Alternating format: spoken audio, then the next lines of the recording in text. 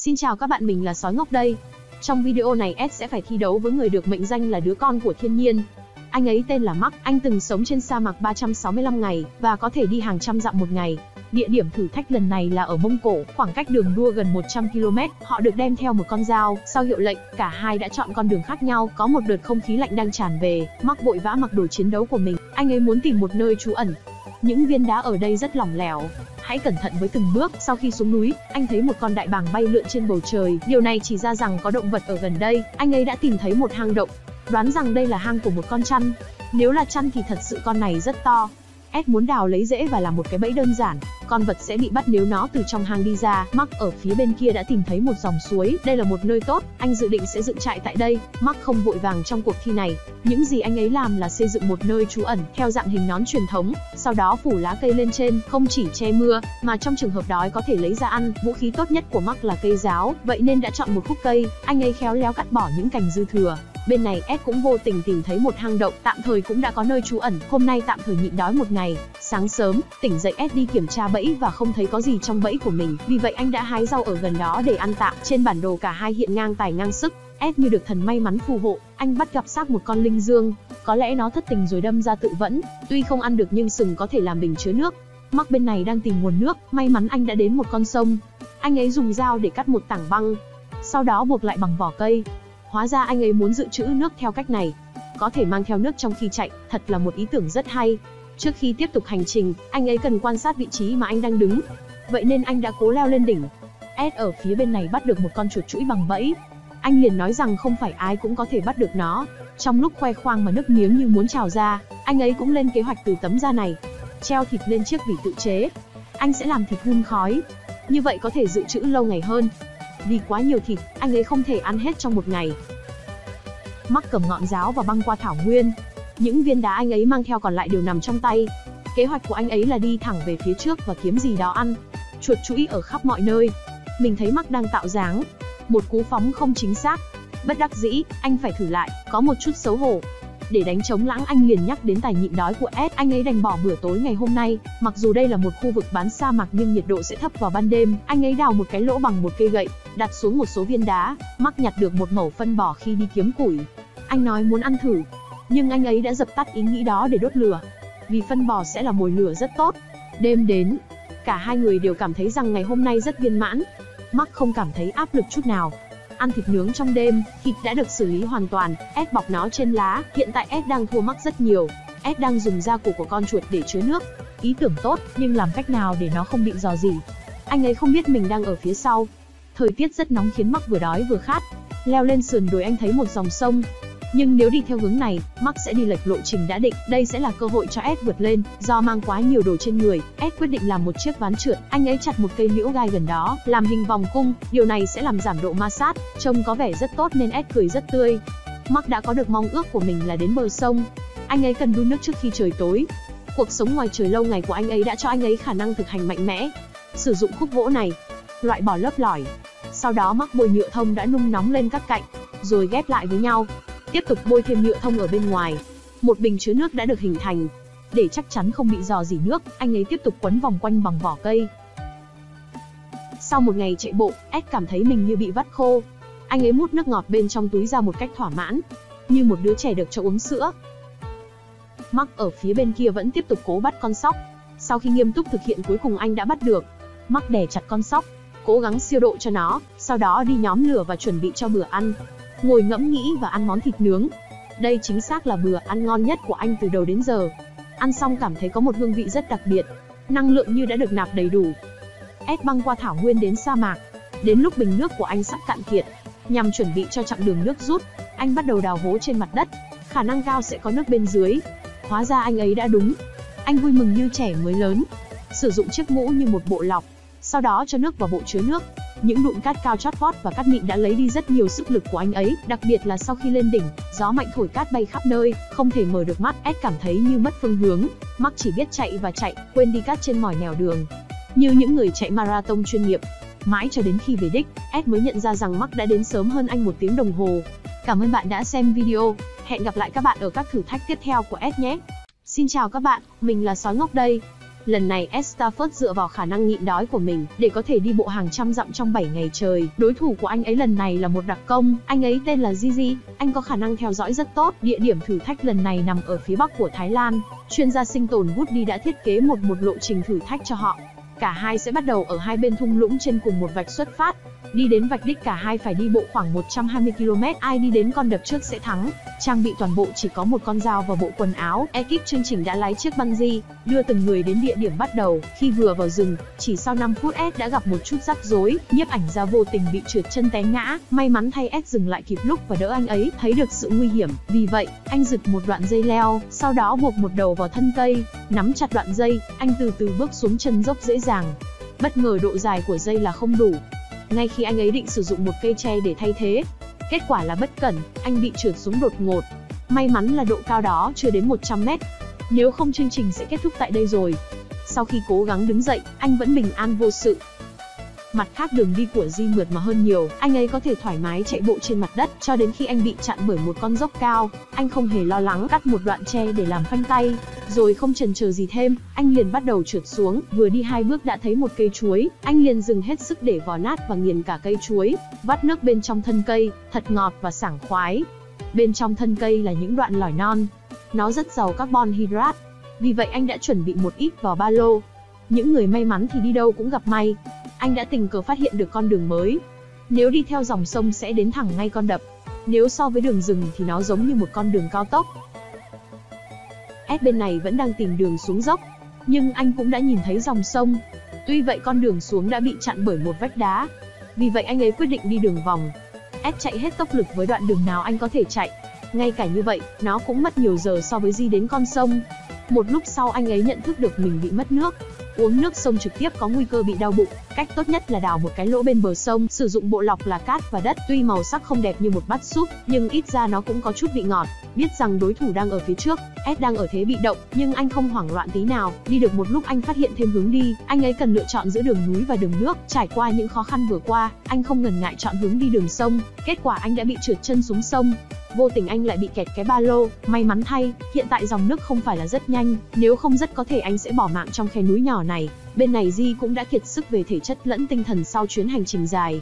Mọi tế bào đều khao khát muốn nạp năng lượng. Khi anh ấy đang lo lắng về thức ăn, chợt anh gặp một bé na đang tắm nắng. Thế là anh ấy không cho nó cơ hội chạy thoát. Cuối cùng cũng có thức ăn, và đã đến lúc tìm một không gian để nấu ăn. Bên này S đã thấy sự nguy hiểm của dòng sông, cây chuối bên kia sông là lựa chọn tốt nhất. Đóng các cây chuối lại với nhau bằng một đoạn cây, sau đó đem nó ra bờ sông. Chỉ cần ôm cây chuối và cho nó tự trôi đi. Anh thấy tốc độ nhanh hơn so với đi bộ, nhưng rủi ro cũng cao hơn, vì phải luôn coi chừng thác nước và các tảng đá. Một lúc sau, anh tìm một bờ sông bằng phẳng gần đó và nhanh chóng lên bờ. Đột nhiên anh ấy dừng lại và nghiêm túc, ra hiệu cho nhiếp ảnh ra giữ im lặng. Khi phóng to máy quay lên anh đã thấy Di đang nấu ăn ở bên kia sông.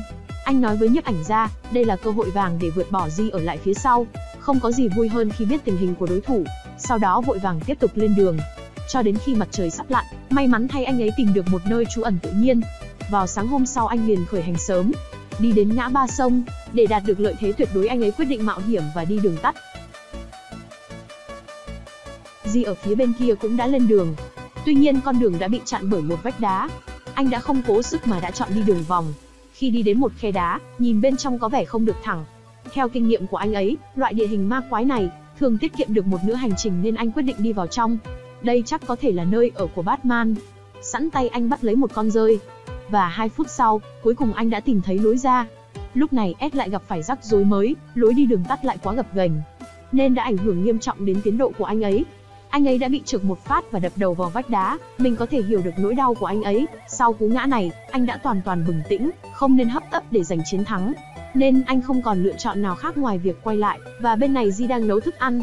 Anh cho đàn em của Batman vào lửa. Sau khi nướng chín, cắn ăn một miếng thật giòn. Chất đạm chắc gấp hàng chục lần thịt bò, chỉ có một con thì ít quá. Biết vậy khi nãy anh nên bắt lấy thật nhiều. Đến bên bờ sông uống vài ngụm nước. Bây giờ Ed đã cảm thấy đói và quyết định dừng lại để bổ sung năng lượng đi vào rừng phát hiện một tổ kiến ở trên cây. Đây sẽ là nguồn protein bổ sung nhanh nhất cho anh vào lúc này. Bất kể con lớn con bé, tất cả đều cho vào miệng. Đêm đến anh cảm thấy rất khó chịu, luôn có cảm giác trướng bụng và khó tiêu. Và cuối cùng anh ấy đã bị nôn mửa. Vật vã vài tiếng liên tục kêu tên Huệ, vì ăn mấy con kiến mà khiến anh mệt mỏi như thế này. Bạn biết đấy, anh chàng này không bao giờ lãng phí. Anh đã sử dụng chúng để đặt một cái bẫy. Thời gian đã đến ngày thứ tư, sáng sớm anh đã kiểm tra bẫy. Anh thành công bắt được một con chuột. Sau khi làm sạch, anh xiên trên thanh cây và nướng.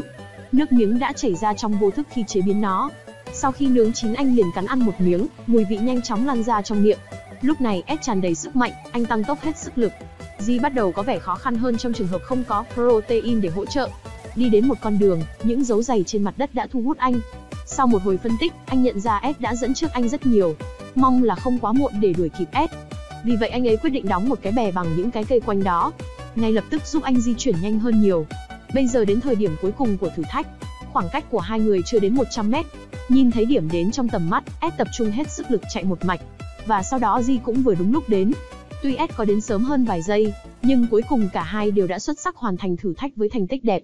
Không ngờ sau 2 năm rưỡi đói khát, Ed Stafford vẫn có thể sống đời sống sang chảnh như vậy. Anh ấy đã bắt đầu bữa tiệc với món sashimi cá giếc, thậm chí còn tận hưởng món thịt cừu tươi ngon trong vùng hoang dã. Đối thủ của s trong lần này là Mark, một vận động viên chuyên nghiệp và là một chuyên gia sinh tồn. Anh ấy mới 32 tuổi, có biệt danh lạc đà sa mạc, thể lực và khả năng nhịn đói không hề kém cạnh S. Địa điểm thử thách là hồ Turkana ở phía bắc Kenya, đây là hồ sa mạc lớn nhất thế giới. Ekip chương trình sẽ đưa họ đến điểm xuất phát bằng du thuyền. Ngay khi hai người họ đang lúng túng, họ bất ngờ phát hiện một bộ tộc đang tiến tới, sau đó giao cho họ nhiệm vụ của cuộc thi, bắt đầu từ cái hồ trước mặt, băng qua vùng đất khô cằn tương tự như địa hình của sao hỏa, Tiếp đến băng qua sa mạc Gobi không có sự sống, ai đến trước điểm đích sẽ là người chiến thắng. Dưới sự chỉ huy của tộc trưởng, họ bắt đầu cuộc thi. Đầu tiên họ phải tìm kiếm chiếc thuyền đã được chuẩn bị trước đó. Sau khi dùng hết sức để đẩy xuống nước, trong chớp mắt một sự cố bất ngờ đã xảy ra. Dù cố gắng thế nào cũng không thể đi được. Tộc trưởng không nhịn được cười, thế là Ed đành quay lại vào bờ, tìm kiếm vật liệu ở gần đó để ra cố lại. Còn Mark thì như rồng qua sông, anh ấy tiếp tục tận dụng lợi thế dẫn trước hiện tại,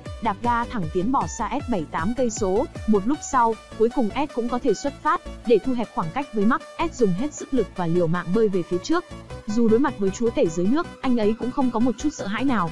Lúc này, Mark cũng đã đi vào bờ an toàn, và nhìn lại, anh vẫn không thấy vầng trán sáng bóng của Ed trước khi rời khỏi khu vực này. Anh ấy cần thu thập càng nhiều vật liệu càng tốt. Tấm lưới bị hỏng và dây trên bè mà không ai muốn, có thể sẽ hữu ích trong hành trình tiếp theo. Nhìn thấy một con cá sấu đang tắm nắng, Mark bắt đầu nghĩ đến trứng của nó.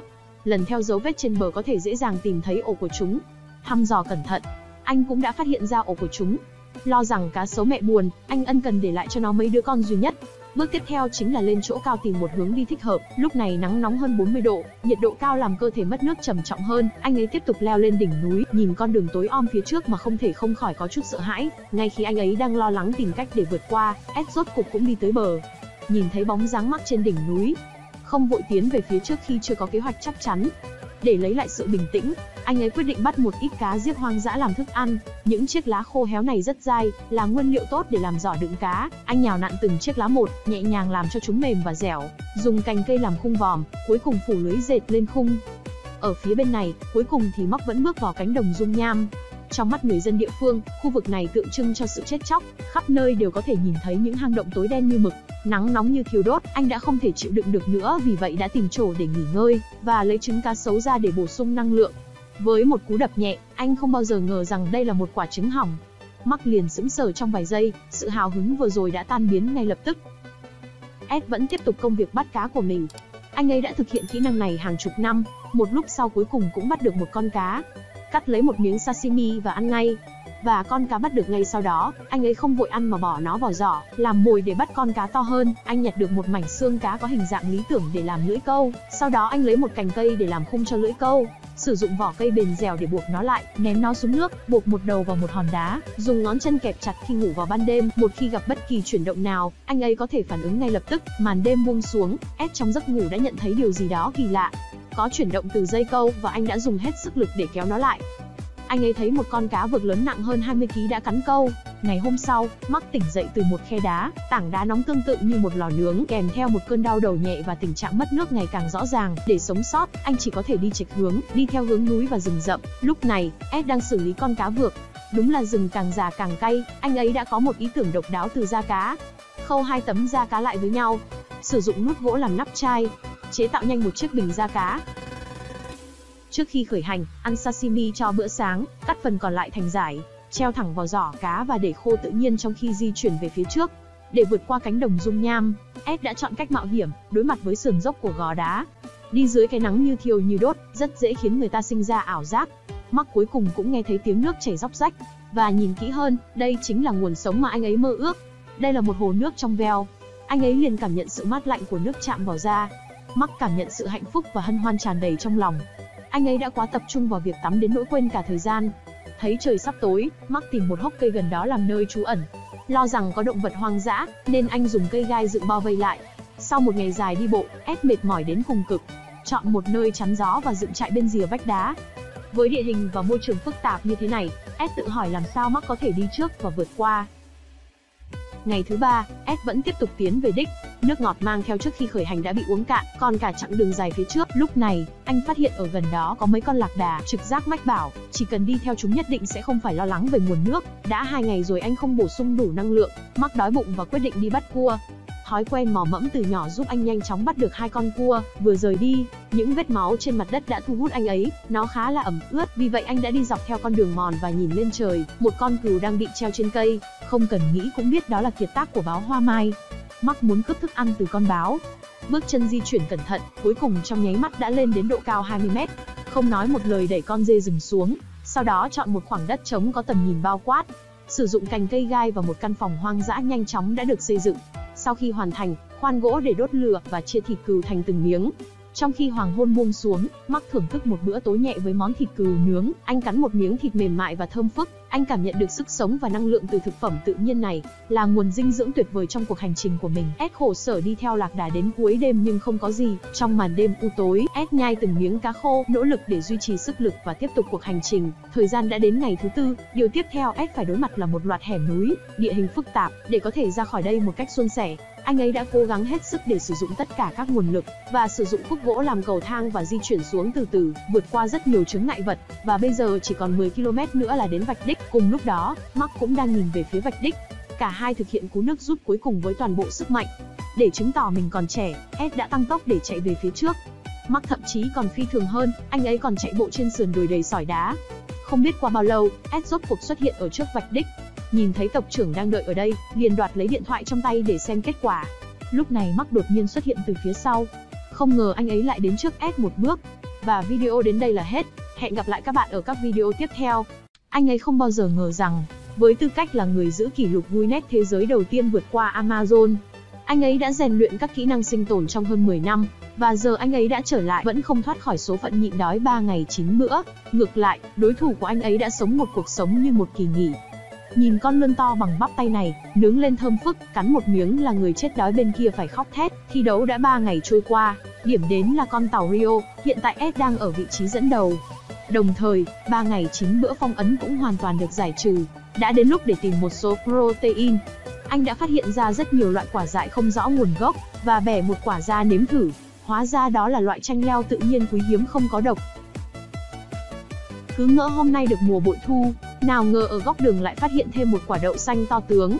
Anh phấn khích nở một nụ cười kỳ lạ, cảm giác như được đến vườn rau của chính mình vậy. Loại đậu này được người dân địa phương gọi là đậu kem.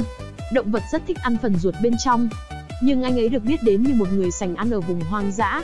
Biết rõ rằng thứ ngon thực sự là cùi bên ngoài. Nó không chỉ giống kẹo dẻo mà còn có mùi vị cũng giống. Hơn nữa, còn có thể bổ sung rất nhiều năng lượng cần thiết cho cơ thể. Tuy nhiên, món quà từ thiên nhiên còn lâu mới hết, anh còn tìm thấy những quả cọ nằm rải rác trong đống lá.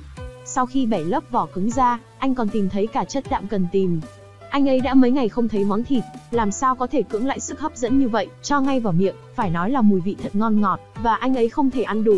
Sau đó anh ấy bắt đầu nghiên cứu cách tạo ra loại protein mà những người khác không thể mua được, cho chanh dây quý hiếm vào trước, sau đó cho protein đặc sánh vào, khuấy mạnh và chỉ khuấy một phần là xét ăn dạng độc quyền đã ra đời. Món ăn lạ miệng này hoàn toàn là một cách giải thích hoàn hảo về ý nghĩa của một chế độ ăn uống cân bằng giữa thịt và rau, một món ăn hiếm có, bất luận thắng hay thua, chuyến đi này thật sự đáng giá. Ở phía bên kia, Danny, người đã đi xuyên qua khu rừng nhiệt đới trong hai ngày, vẫn đang cố gắng tìm kiếm dòng nước đen dẫn đến vạch đích, mặc dù một con lươn lớn đã khiến anh ấy no tối qua, nhưng nếu anh ấy không tìm thấy dòng sông, anh ấy chắc chắn sẽ thua ép. Cuối cùng, anh cũng nhìn thấy dòng sông chảy trong bụi cây. Danny thở dài nhẹ nhõm một hơi, nước chảy xiết, làm bè xuôi dòng nhất định sẽ giảm được phân nửa sức lực, thu thập một số lượng lớn thân cây cọ, được buộc chắc chắn với nhau bằng vỏ cây mata. và một chiếc du thuyền sang trọng đơn giản đã được hoàn thành, với sự hỗ trợ của động cơ được chạy bằng cơm. Việc anh ấy đuổi kịp được Ed chỉ còn là vấn đề thời gian. Mùa lũ lụt ở Amazon, khu rừng bị nhấn chìm trên diện rộng, Ed chỉ có thể lê bước chậm chạp trong làn nước đen ngòm đến thắt lưng. Cuối cùng toàn thân ngâm trong nước, trông có vẻ choáng ngợp, sau một hồi bơi lội mệt mỏi, cuối cùng anh ấy nghĩ đến việc làm một chiếc bè. Chỉ có thể sử dụng vật liệu hiện có và bắt đầu hiện thực hóa ý tưởng này. Nhưng sau khi chặt liên tiếp nhiều cây, anh ấy phát hiện ra rằng chúng không thể nổi. Anh phát hiện, những cây cọ nổi trên mặt nước này là những vật liệu tuyệt vời. Cộng với sự khéo léo của anh ấy, sau một lúc làm việc cuối cùng chiếc bè đã được hình thành. Anh ấy nghĩ rằng trò chơi sẽ diễn ra suôn sẻ theo kế hoạch của mình, nhưng một cơn bão tự dưng đang ập đến, Ed chỉ có thể từ bỏ kế hoạch và xây dựng một nơi trú ẩn trên mặt nước. Đầu tiên anh ấy dựng phần khung của ngôi nhà, sau đó xếp các hàng cây trên đó. Anh ấy nằm thử lên đó xem ra kích thước có vẻ không đủ. Cuối cùng, những chiếc lá cọ vạn năng đã được tìm thấy để che nơi trú ẩn. Ngôi nhà nhỏ này, mặc dù trông có vẻ hơi thô sơ, nhưng ít nhất nó có thể giúp anh nạp lại năng lượng cho cuộc chạy nước rút ngày mai. Lúc này Danny, người xuất thân là một người lính đặc chủng, vẫn miệt mài chèo thuyền trong cơn mưa lớn, không phải vì anh không muốn dừng lại, mà chủ yếu là vì anh không thể tìm thấy bất kỳ mảnh đất nào trong khu rừng ngập nước này, nhưng từ một góc độ khác, đây có thể là một cơ hội tuyệt vời để vượt qua S. Đến chiều tối cuối cùng cũng vào bờ, anh kiệt sức ngã quỵ xuống đất, chỉ muốn về nhà tìm mẹ. Phải nói rằng, môi trường sống của Amazon khắc nghiệt đến mức ngay cả những bộ đội đặc biệt có kinh nghiệm cũng gần như bỏ cuộc. Vào ngày thứ tư của cuộc thi, Danny đã ở vị trí dẫn đầu do hành trình dưới mưa ngày hôm qua.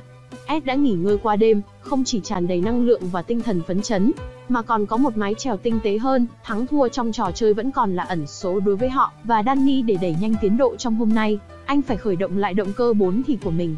2 giờ sau, cuối cùng anh cũng đến dòng sông với tầm nhìn bao quát. Ngay khi anh ấy nghĩ rằng mình có cơ hội chiến thắng, S của chúng ta cũng xuất hiện ở dòng sông, nhìn chiếc bè có thể chìm bất cứ lúc nào. Lúc này, S cũng nhìn thấy Danny đang bơi về phía trước, ngay lập tức sẵn sàng toàn lực để bắt đầu chế độ chạy nước rút. Thấy tình thế không ổn, Danny chỉ có thể lựa chọn tấp vào bờ.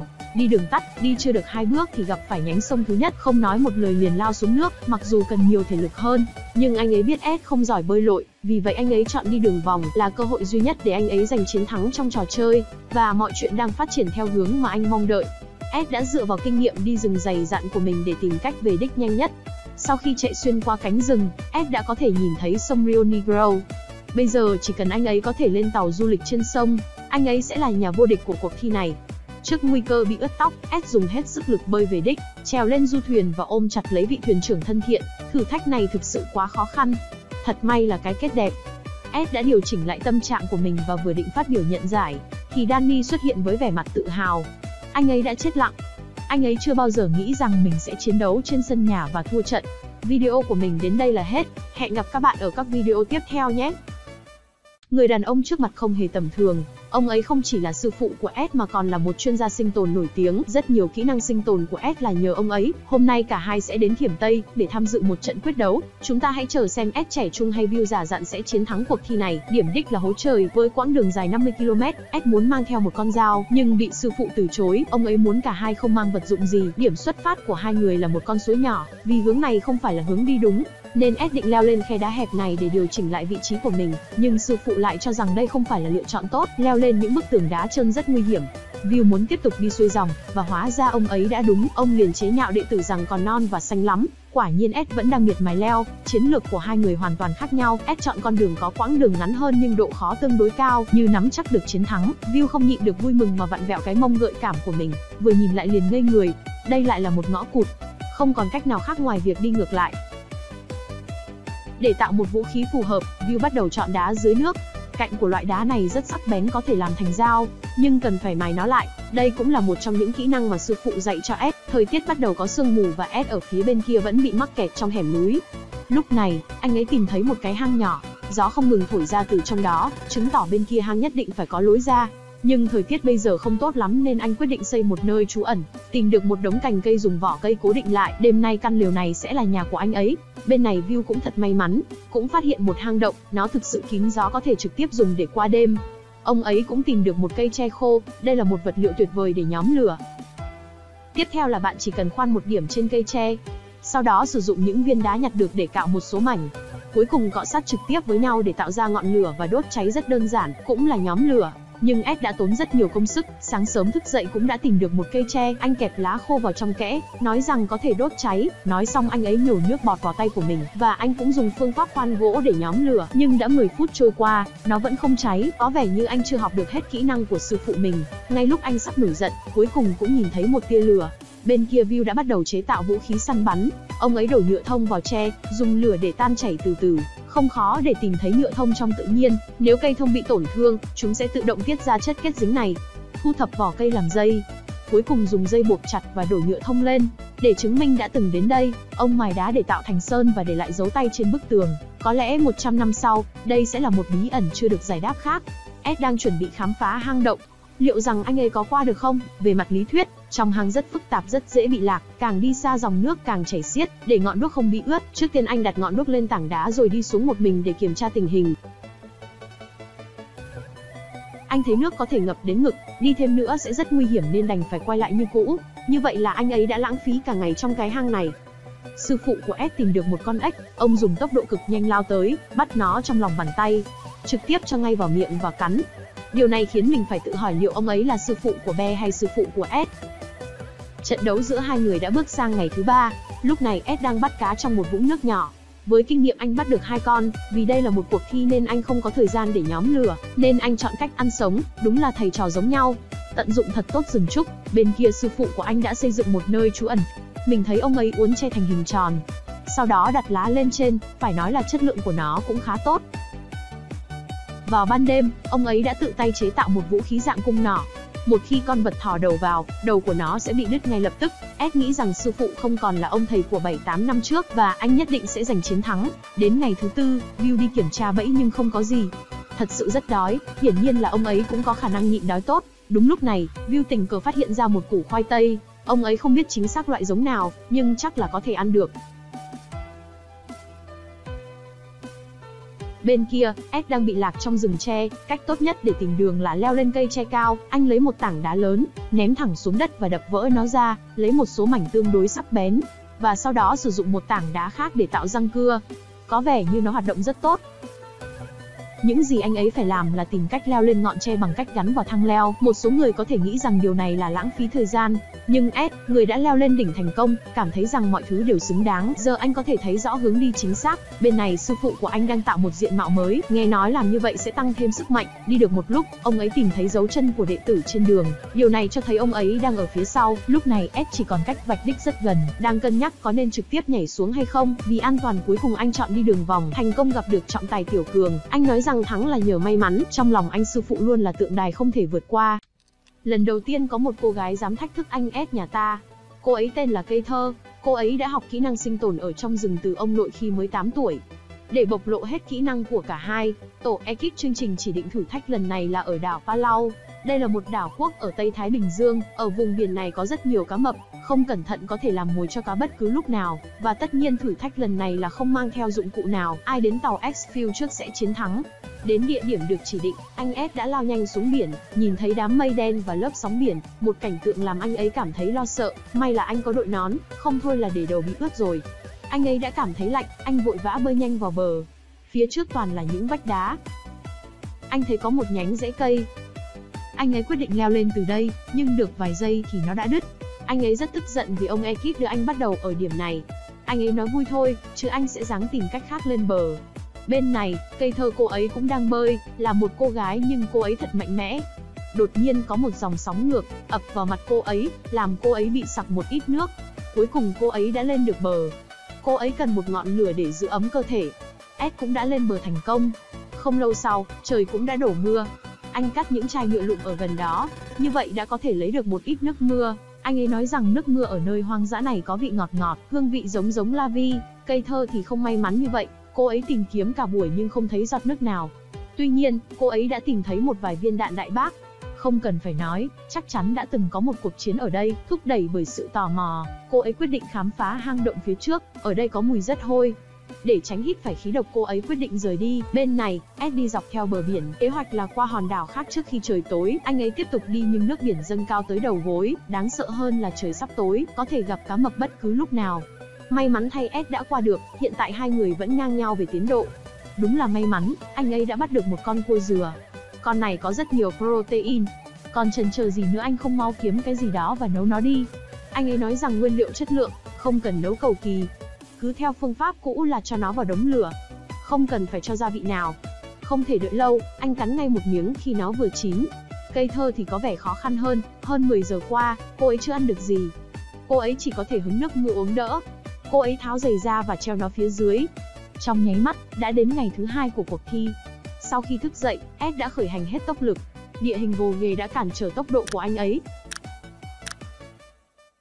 Cây thơ cũng bắt đầu di chuyển. Cô ấy vừa trải qua một đêm khó khăn, giờ cơ thể cô ấy mềm nhũn. Nhưng điều đó cũng không làm giảm ý chí của cô ấy. Vào đầm lầy ngập mặn, cô ấy cần giữ một tinh thần phấn chấn. Mặt khác, Ed cũng không khá hơn chút nào. Anh ấy cũng bị các tán cây rậm rạp dày vò. Cuối cùng cũng thoát khỏi, anh chạy nhanh, giờ thì tầm nhìn và đường đi cũng thoáng hơn. Ed cảm thấy rất phấn khích. Đến bờ biển, anh liền nhảy ngay xuống biển. Anh nói rằng kỹ năng rất quan trọng không là sẽ thất bại, cây thơ cũng ra khỏi rừng ngập mặn, không có bản đồ và la bàn đúng là rất khó khăn, rất dễ đi sai hướng. Cô ấy đứng trên mô đá cao và quan sát hướng đi, phía trước có một hòn đảo. Bơi trực tiếp đến đó thì rất nguy hiểm, cô ấy quyết định làm một cái bè, đơn giản là cô ấy lụm những khúc cây và các vật dụng ở đó, sau đó là ghép chúng lại với nhau. Ngay khi cô ấy chuẩn bị ra biển thì thời tiết bắt đầu xấu đi. Gió thổi rất là mạnh, vì để đảm bảo an toàn cô ấy quyết định ở lại đây. Chớp mắt đã đến ngày thứ ba. Bên này Ed cũng đã lâu rồi không giữ ấm cơ thể. Trên đảo hoang này, tìm kiếm nước ngọt đã trở thành một vấn đề lớn. Anh ấy nhặt được một cái thùng sắt. Để không bị chết khát, anh quyết định là trưng cất nước biển. Thông qua việc đốt nóng liên tục sẽ sinh ra hơi nước, hương vị cũng khá là ok nhưng nó quá ít, thật sự không đã khát. Anh ấy cũng quyết định làm một cái bè, bơi trực tiếp qua bên đó chắc chắn sẽ làm bữa ăn cho gia đình Baby Shark. Anh bắt đầu phát thảo trên cát, ngay lập tức anh đã làm ra một cái bè đơn giản. Thế là anh đã ra khơi. Với một cơn gió bất ngờ đã làm cho cây thơ chậm lại. Tận dụng thời gian, cô ấy làm cho nó chắc chắn hơn. Lúc này Ed đang lênh trên trên biển, sẽ sớm đến hòn đảo khác. Mặt trời từ từ lên, nhiệt độ mặt biển bắt đầu nóng lên, để cho cơ thể không bị mất nước, anh ấy cần nhanh chóng vào bờ. Các cô gái thường cẩn trọng trong mọi việc, cô ấy làm lại chiếc bè cho đến tối. Liệu cô ấy có chiến thắng trong cuộc thi này không? Đã 3 ngày không nạp được năng lượng, các hoạt động tay chân gần đi đến giới hạn.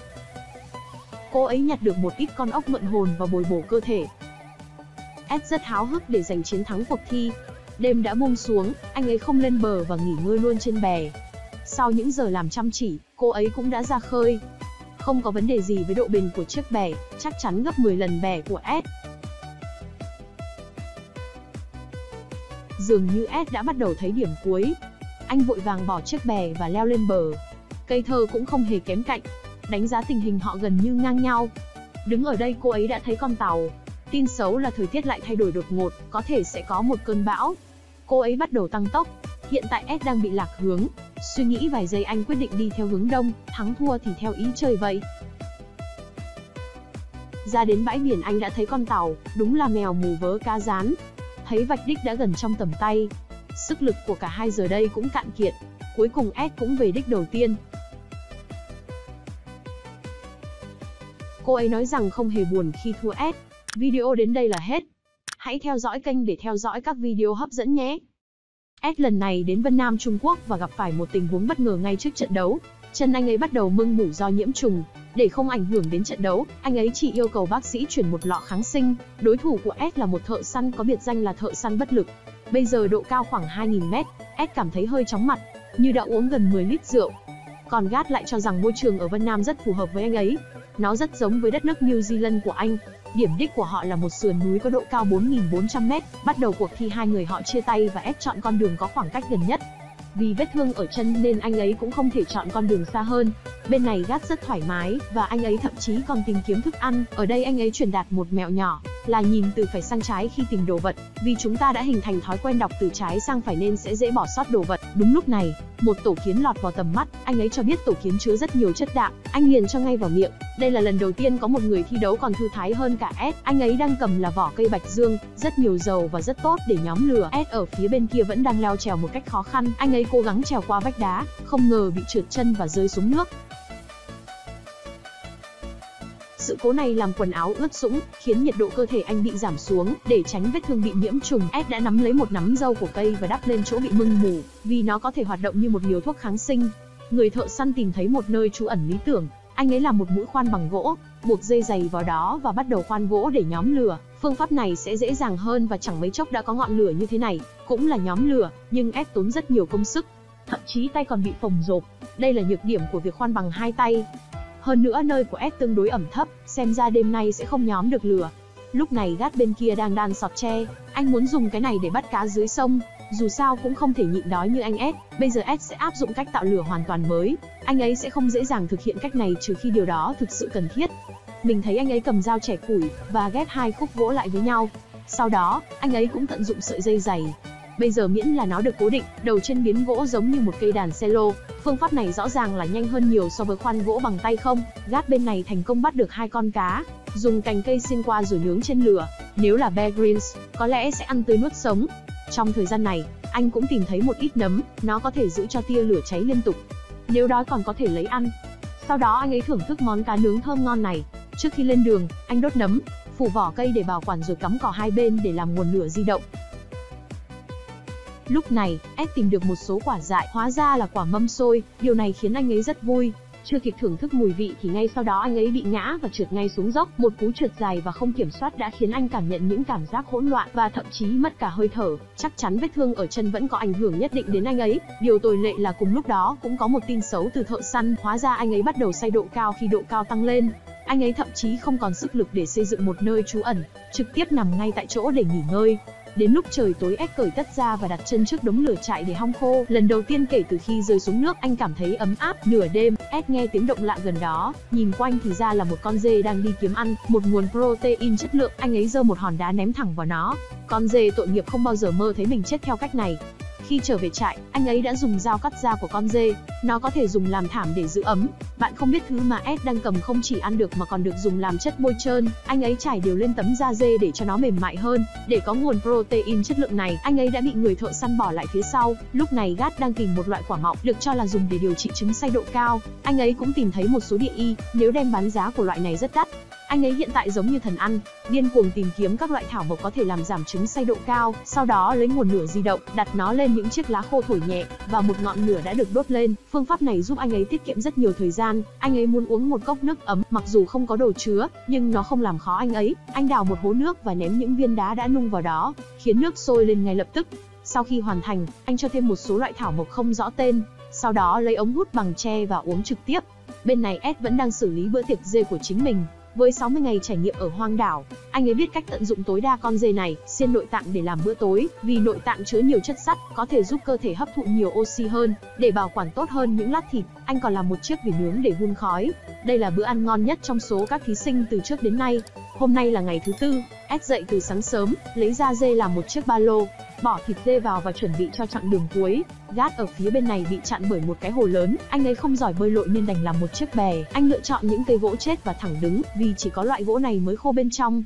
Về phần dây, có thể được buộc bằng vỏ cây hoặc các loại dây leo khác, không ngờ đi giữa chừng thì thời tiết đột ngột trở nên xấu đi, may mắn là không có gió, nếu không sẽ rất dễ bị rơi xuống nước. Lúc này ép chạy như điên, chỉ trong một buổi chiều đã đuổi kịp người thợ săn, thậm chí còn nhìn thấy vạch đích từ khi trời bắt đầu mưa, cả hai đều chọn một nơi để nghỉ ngơi, đến ngày thứ năm và người chiến thắng sẽ được quyết định vào lúc này. Gát điên cuồng đến mức đi thẳng xuống con dốc đầy sỏi, và nước đi này đã đảm bảo chiến thắng cho anh ấy.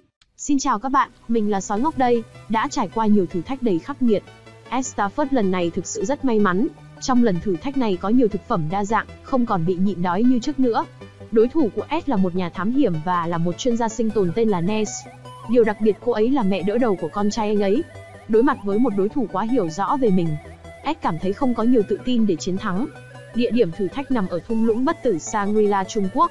Nơi này nổi tiếng với địa hình dốc và gồ ghề. Đến địa điểm xuất phát, họ được người A Tay ăn địa phương hướng dẫn và thiết kế tuyến đường của cuộc thi, bắt đầu từ thác nước trước mặt, đi bộ 70 km về phía nam, băng qua mỏ đá với những tảng đá rơi và vạch đích là cây cầu treo. Tất cả những gì họ có là quần áo và một thanh kiếm giết rồng. Nắm rõ tình hình, theo hiệu lệnh của trọng tài, họ liền nhảy xuống thác nước băng giá. Tiến độ hiện tại vẫn ngang nhau, sau khi lên bờ thì họ chia tay. Ness quyết định đi đường tắt, dọc theo con sông tiến thẳng về đích. Bởi vì Ed không giỏi dưới nước, nên anh ấy đã chọn đi vào khu rừng nhiệt đới dốc và rậm rạp. Khí hậu trong rừng nhiệt đới hay thay đổi. Trong khi Ed đối mặt với cơn mưa lớn thì Ness vẫn đang tận hưởng bầu trời quang đãng, nhưng dòng sông gồ ghề đã hạn chế đến tốc độ di chuyển của cô ấy. mỗi khi cô ấy muốn tăng tốc, sẽ bị chặn bởi một dòng chảy ngầm không xác định. Trong một tình trạng khó khăn như vậy, thu thập đủ vật liệu sẽ cảm thấy chắc chắn hơn. Vỏ cây dâu tằm rất dai, là vật liệu tuyệt vời để làm dây thừng. Lúc này, Ed đã đến bên kia thung lũng, nơi có một con sông song song với vị trí của Ness. Điểm khác biệt duy nhất là hướng chảy của chúng đối nghịch nhau. Rõ ràng thử thách của tuyến đường này rất khó khăn, và có những bức tường đá không thể vượt qua trên đường đi. Ed không định đi đường vòng, mà vào rừng thu thập rất nhiều tre, dùng dây mây buộc chặt, nhanh chóng làm thành một cầu thang. Mỗi lần đạt được bước đột phá về tiến độ, anh ấy vui vẻ liền cười rất tươi.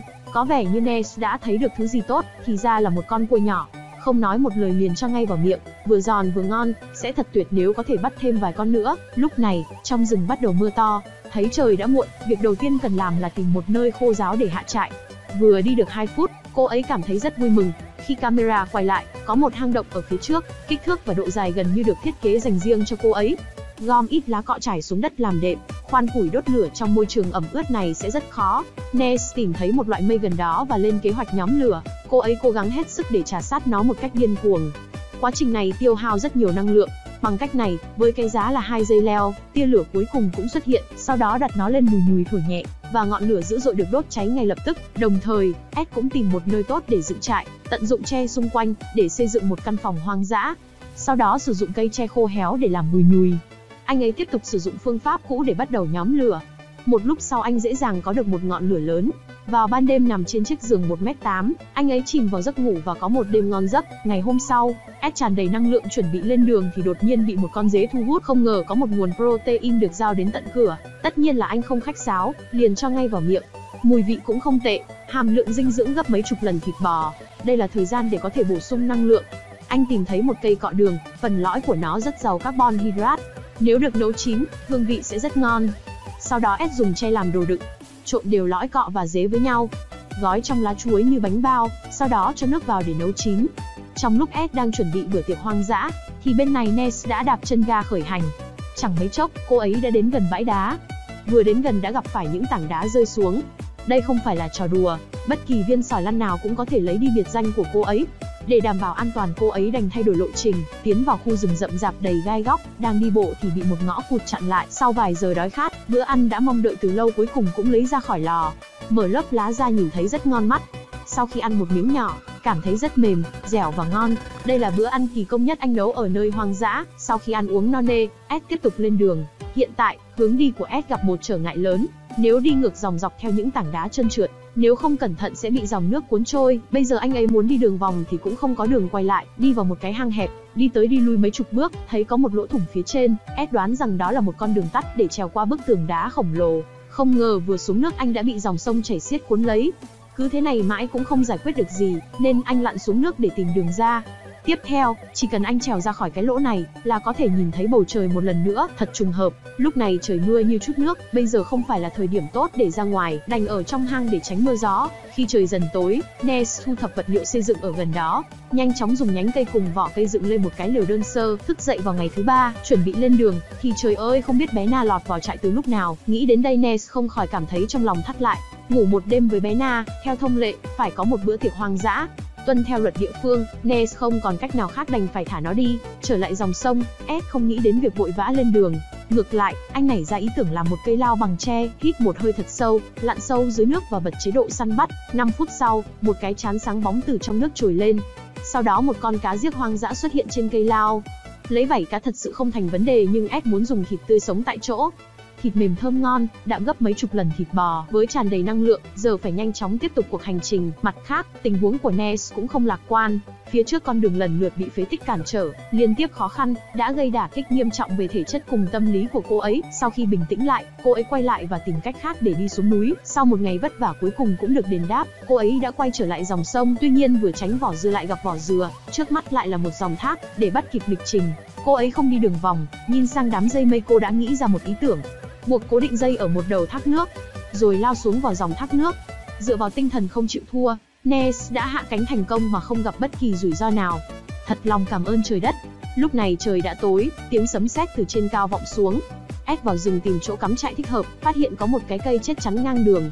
Do dùng lực quá mạnh đã khiến anh ấy ngã lăn xuống đất, cảm thấy thật là xấu hổ chỉ muốn đào một cái lỗ để trốn. Tiếp theo anh sử dụng dương xỉ như một tấm nệm, vỏ cây làm thành khung che mưa gió, rồi nằm vào đó, kích thước chiều dài thật vừa vặn. Nes dừng chuyến đi của mình và đã không ăn gì trong vài ngày. Đã đến lúc để ổn định cuộc sống, thu thập những cây tre khô héo gần đó làm vật liệu xây dựng, sử dụng vỏ cây làm dây thừng, nhanh chóng xây dựng một cái khung nhà. Những khoảng trống trên khung được bịt chặt bằng tre, trước khi trời tối, dệt những dải tre còn lại thành phễu, sử dụng nguyên tắc đòn bẩy để bắt cá. Một khi có cá vào bẫy, Nes sẽ đẩy cái phễu lên trên, và trong vòng một giờ, một vài con cá đã bị dính bẫy. Trong lúc phấn khích, cũng không quên cầu nguyện cho Ed có thể sống sót qua đêm trong cái lạnh và đói. Sau một vài phút nướng cá, một bữa tiệc tối đã sẵn sàng. Nhanh chóng ăn một miếng, thịt mềm và ngon ngọt. Thời khắc tận hưởng chính là đây, thời gian đến ngày thứ tư, để trở thành người phụ nữ đầu tiên đánh bại được Ednes dùng hết mã lực lao vào địa hình dốc đứng nguy hiểm, không kịp giảm tốc độ, cô ấy đã bị ngã lăn xuống đất, những bụi cây tầm ma khiến toàn thân cô ấy dính đầy gai, cũng không thể ngăn được Nes tiến về phía trước. Mãi đến khi trời tối, cô ấy mới tìm một bãi đất trống để cắm trại. Ed đói khát bên kia vẫn đang trên đường đi, đột nhiên bị một làn khói hấp dẫn. Anh nghĩ có khi nào Nes đang ở phía trước không? Đúng như dự đoán, đây là lần đầu tiên sau bao nhiêu năm, Ed đối đầu trực diện với đối thủ của mình trên đường thách đấu sinh tồn nơi hoang dã. Giả vờ hỏi thăm tình hình nhưng thực ra chỉ là cố gắng nhờ vào đống lửa. Được sự cho phép của Ness, Ed ngủ thiếp đi bên ngọn lửa mà không chút do dự.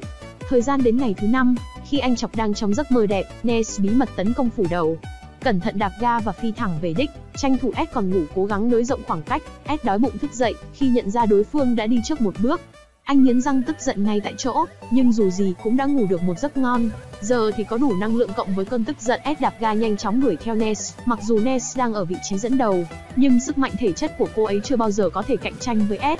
Khi băng qua dòng sông, cô ấy đã bị đẩy xa hơn 10 mét, trong khi đó Ed đã có thể đối phó một cách dễ dàng. Chẳng mấy chốc, khoảng cách giữa hai người chỉ còn vài mét. Với một chút nỗ lực, anh ấy đã thành công vượt qua Ness.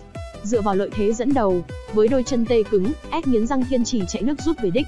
Ed đã về vạch đích đầu tiên và 5 phút sau Nes từ phía bên kia đi tới. Mặc dù không thể trở thành người phụ nữ đầu tiên đánh bại Ed, nhưng cô ấy rất thích thú với toàn bộ quá trình của cuộc thi. Và video đến đây là hết, hẹn gặp bạn ở các video tiếp theo. Lần này S Stafford đến Tứ Xuyên của Trung Quốc, có bạn nào thích anh chàng S thì nhấn like cùng hộ mình nhé. Anh chàng này tên là Hakim, anh ấy là một ninja hàng đầu đã tu luyện được 21 năm, sống sót trong môi trường tự nhiên, sức bền và kinh nghiệm sinh tồn không thua gì S. Cả hai sẽ thi đấu sinh tồn với nhau trong môi trường tự nhiên. Ngay khi hai người gặp mặt nhau, họ đã buông những lời khiêu khích. Địa điểm của cuộc thi này là một đầm lầy ở Tứ Xuyên, họ chỉ có thể mang theo một con dao, ai băng qua đầm lầy về đích trước là người chiến thắng. Cả hai đã chọn những con đường khác nhau để bắt đầu. S đã chọn con đường dài trên sườn núi, vì thức ăn và nguồn nước có thể được tìm thấy ở đây. Hakim lựa chọn trực tiếp băng qua đầm lầy. Dù quãng đường ngắn nhất nhưng rất nguy hiểm. Chẳng mấy chốc anh đã hối hận. Vì đi được vài bước giày đã bị ướt, anh đành cởi giày và treo nó lên cổ. Đi bộ trong đầm lầy tốn nhiều sức lực hơn, không mất nhiều thời gian anh đã cảm thấy mệt mỏi. Không có cách nào anh ấy chỉ có thể sử dụng nhẫn thuật. Xin Chúa hãy phù hộ cho tôi. Hãy để cho tên S đó gặp nhiều khó khăn và chướng ngại trên đường đi. Bị đói hai ngày hai đêm và mất hai cái răng khi uống nước, cấp cấp như luật lệnh. Ed ở phía bên kia nhìn thấy một vũng nước. Anh ấy muốn uống nhưng nó đã bị nhiễm phân bò. Anh ấy đành bó tay, bỏ qua vũng nước và tiếp tục đi đến đỉnh núi. Mây bao phủ khá dày, nên tầm nhìn rất hạn hẹp. Bây giờ Ed nói rằng đã cưỡi trên lưng cọp thì khó xuống. Đang loay hoay anh suýt rơi khỏi vách núi. May mắn thay đó chỉ là một báo động giả. Lúc này Hakim cũng cảm thấy trực tiếp đi qua đầm lầy là một ý nghĩ ngu xuẩn. Anh chuyển sang một sườn núi khác, chẳng mấy chốc trời đã tối. Hakim bắt đầu tìm một nơi trú ẩn và nghỉ ngơi qua đêm. Anh ấy nghĩ vị trí này rất tốt, có mái che, sau đó dãy một số cành cây để củng cố nó là có thể ngủ ở đây đêm nay. Ed cũng đã tìm thấy một hang động, nơi anh có thể nghỉ ngơi trực tiếp, không lo lắng về những cơn mưa vào ban đêm. Nhưng trời rất lạnh bàn tay của Ed gần như tê cóng, anh ấy không được nghỉ ngơi tốt vào đêm qua, khởi hành sớm vào ngày hôm sau. May mắn thay, Ed lại tìm thấy một vũng nước, ngay khi anh nằm xuống uống nước. Không ngờ chiếc răng vô tình va vào đá, một chiếc răng khảnh đã anh dũng ra đi. Nhưng không sao trông vẫn còn đẹp trai. Anh ấy đã bị gãy răng khi uống nước, nó cũng linh nghiệm với nhẫn thuật của Hakim. Đối mặt với máy quay, Ed chỉ có thể giấu sự bối rối của mình bằng một nụ cười công nghiệp. Lúc này Hakim đã thức dậy tập lại mấy thế võ. Sau đó nhóm lửa thành công, dùng che làm đồ đựng, pha một tách trà ngon. Đúng là một ninja biết giữ gìn sức khỏe. Rất sảng khoái sau khi uống. Anh quyết tâm hôm nay phải vượt qua S. Không biết có phải uống trà buổi sáng gây ra tác dụng phụ không? Hakin cảm thấy có một lực lượng thần bí cuộn trào trong cơ thể, cộng với việc say độ cao. Mỗi bước anh đi bây giờ dường như khó khăn hơn. Anh nói rằng đây là điều khó khăn nhất anh ấy từng làm. S đến một vùng đầm lầy rộng lớn, Có rất nhiều mối nguy hiểm chưa biết trong đầm lầy. Bạn sẽ không biết được tiếp theo nước sâu bao nhiêu. Được rồi, bây giờ nước đã ngập đến đầu tôi. Ed suýt bị hụt hơi. Chỗ nước ở khu vực này khá sâu. Nếu bơi tiếp sẽ mất rất nhiều sức lực và cũng sẽ rất nguy hiểm, nên anh ấy quyết định quay lại bờ. Ed bắt được một con vật nhỏ, anh ấy đang tự liệu hỏi đó là một con cóc hay một con ếch. Cuối cùng anh ấy đã không bận tâm, cho thẳng vào cái túi và sẵn sàng nấu ăn cho buổi tối hôm nay. Trời sắp tối, Ed dự định xây dựng một nơi trú ẩn 5 sao. Anh muốn thực hiện ngay và luôn. Anh chặt rất nhiều cây, sau đó xếp theo hình kim tự tháp. Không có dây anh phải tháo dây thắt lưng để cố định. Sau 77-49 phút, nơi trú ẩn 5 sao của Ed cuối cùng đã được xây dựng thành công.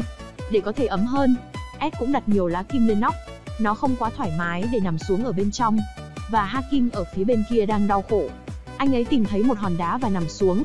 Để tránh gió lạnh, anh ấy tìm thấy một vài viên đá nhỏ và chất đống chúng lại. Thức dậy vào sáng hôm sau, anh ấy đã thực hiện một số kỹ thuật ninja, cảm thấy sảng khoái và tràn đầy năng lượng sau khi tập thể dục, hét lên vài tiếng và tiếp tục lên đường. Từ đầu đến giờ, Hakim còn chưa ăn gì, có vẻ như khả năng nhịn đói có thể so sánh với Ed. Vừa dứt lời, liền nhìn thấy mấy con chuột là một ninja, anh ấy muốn chế tạo một vũ khí độc quyền, làm phi tiêu từ khúc gỗ trên tay và ném thẳng vào mấy con chuột. Có vẻ như 21 năm cung phu ninja này không phải là vô ích. Cuối cùng thì Hakim đã có món thịt nướng. Hai con chuột còn lại rơm rớm nước mắt nhìn Hakim ăn thịt em mình. Sao anh lại nhẫn tâm vậy? Hakim vội vàng giải thích, mong nhận được sự tha thứ từ gia đình chuột. Lúc này Ed vừa tỉnh mộng. Điều đầu tiên cần làm là phá bỏ nơi trú ẩn. Không thể để Hakim, người theo sau có sẵn nơi trú ẩn. Sau đó, anh ấy mang những khúc gỗ đã tháo gỡ đến rìa đầm lầy. Anh định làm một chiếc bè để vượt qua. Sau khi làm xong, vừa xuống nước, mình chỉ thấy nó chìm dần. Có vẻ như nó cần được sửa chữa lại. Chuyển sang kế hoạch B. Để làm tăng sức nổi anh cho thêm ít cỏ. Và bọc chúng lại. Lần này cuối cùng cũng sử dụng được cũng phải vượt qua đầm lầy. Hakim đã là một đôi giày khổng lồ. Điều này giúp anh ấy không bị lún sâu, phương pháp này có vẻ rất tốt. Hakim đang tiến về phía trước với tốc độ nhanh, cuộc thi sắp kết thúc, khoảng cách giữa hai người bây giờ rất gần. Ed đã chọn đi vòng qua hồ, tăng tốc chạy nhanh về đích và Hakim đã mắc một sai lầm, anh đã đi sai lộ trình, đi thêm 2 km nữa, cuối cùng đã bỏ lỡ chức vô địch. Chúng ta hãy chúc mừng Ed đã giành chức vô địch ở tứ xuyên nhé. Lần này Ed Stafford ngay từ đầu đã có một bữa tiệc nướng, có thịt chuột nướng than và món thịt gà xiên que hoang dã, đích thực chất lượng cuộc sống rất tốt. Đối thủ của anh ấy lần này là Cay, là một diễn viên đóng thế ở Hollywood, nhìn cô ấy có vẻ yếu đuối, nhưng trên thực tế những khó khăn đã trải qua không hề ít so với S. Địa điểm thử thách lần này nằm ở núi Siguniang của Trung Quốc, độ cao lớn nhất ở đây là 6.000m. Đó là một thử thách lớn mà họ sẽ phải đối mặt anh chàng khi Ang đưa cả hai đến điểm xuất phát, bắt đầu từ vùng tuyết sâu ở độ cao 4.600m, đi qua một thung lũng, sau đó đi qua ngọn núi tuyết và đi tiếp hơn 5.000m. Ai đến núi Ba Lang trước sẽ là người chiến thắng. Vì lý do an toàn nhóm chương trình đã thực hiện một ngoại lệ. Họ được đem theo một con dao và một bó dây. Theo lệnh của trọng tài cả hai lao xuống núi với tốc độ nhanh nhất. Tuyết ở đây rất lỏng, cả hai vừa đi vừa lộn nhào trên tuyết. Thật sự là rất khó di chuyển trong địa hình như thế này. Vừa đi vừa phải chú ý những tảng đá phủ đầy tuyết dưới chân. Vì có thể sẽ bị hụt chân bất cứ lúc nào.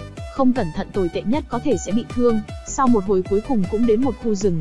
Trong khi thời tiết khô nhanh tay thu thập một ít cây, tìm kiếm cây dao trên người tại sao nó lại biến mất. Anh ấy đã phải tìm kiếm xung quanh đó gần hết một tiếng đồng hồ. May mắn thay anh đã tìm được. Sẽ rất tồi tệ nếu không tìm thấy cây dao. Anh sẽ nhóm lửa và cách thức vẫn như cũ. Mũi khoan và dây cung, thực hiện ma sát liên tục trong vòng chưa đầy nửa giờ đã có tia lửa. Thổi nhẹ và cho thêm ít cây khô, ngọn lửa lập tức bùng cháy dữ dội. Ngay lập tức anh liền làm ấm đôi chân lạnh cóng của mình. Ở phía bên kia cây cũng đã đi được rất xa. Có một thác nước nhưng có tảng đá ở phía trên có thể rơi xuống bất cứ lúc nào. Để đảm bảo an toàn cô ấy chọn cách rời đi. Được một lúc cô ấy đi đến một thác nước, cẩn thận bước trên từng tảng đá. Trong khu vực nguy hiểm này nếu đi tiếp sẽ không phải là ý định tốt. Sau một lúc nghiêm túc xem xét, cô ấy đã chọn một con đường mạo hiểm hơn. Cô ấy chọn leo lên vách đá dựng đứng. Cô ấy rất tự tin với kỹ năng leo núi của mình. Thật sự đây là hướng đi khó khăn, nhưng trước một diễn viên đóng thế tất cả chỉ là một điều đơn giản. Đi thẳng lên đỉnh núi, cô ấy lụm được một hòn đá trầm tích. Thành phần chính của nó là silica, va chạm với một mảnh khác có thể tạo ra tia lửa. Bây giờ cũng đã trễ rồi, vào ban đêm nhiệt độ ở đây có thể giảm xuống âm 10 đến 20 độ C. Anh ấy chất trồng những tảng đá để tránh gió lạnh, mất một cái răng, anh không muốn cái răng của mình va nhau lập cập, để chắc rằng có thể được ấm hơn. Cần thu thập củi để vượt qua cái lạnh.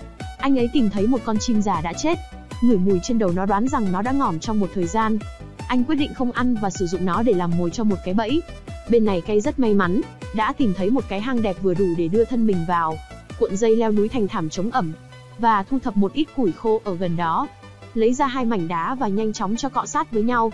Tốc độ nhóm lửa của cô ấy cũng vừa kịp lúc trời tối. Có được đống lửa giờ cô ấy cảm thấy ấm hơn nhiều. Đêm nay có thể ngủ một giấc ngon. Ngày hôm sau Ed đi kiểm tra bẫy. Nhìn từ xa anh đã thấy bẫy đã kích hoạt. Anh ấy thành công bắt được một con chuột. Lần này ngay từ đầu anh đã có một món ăn chất lượng đến vậy. Nó không giống như người hay nhịn đói mà chúng ta biết.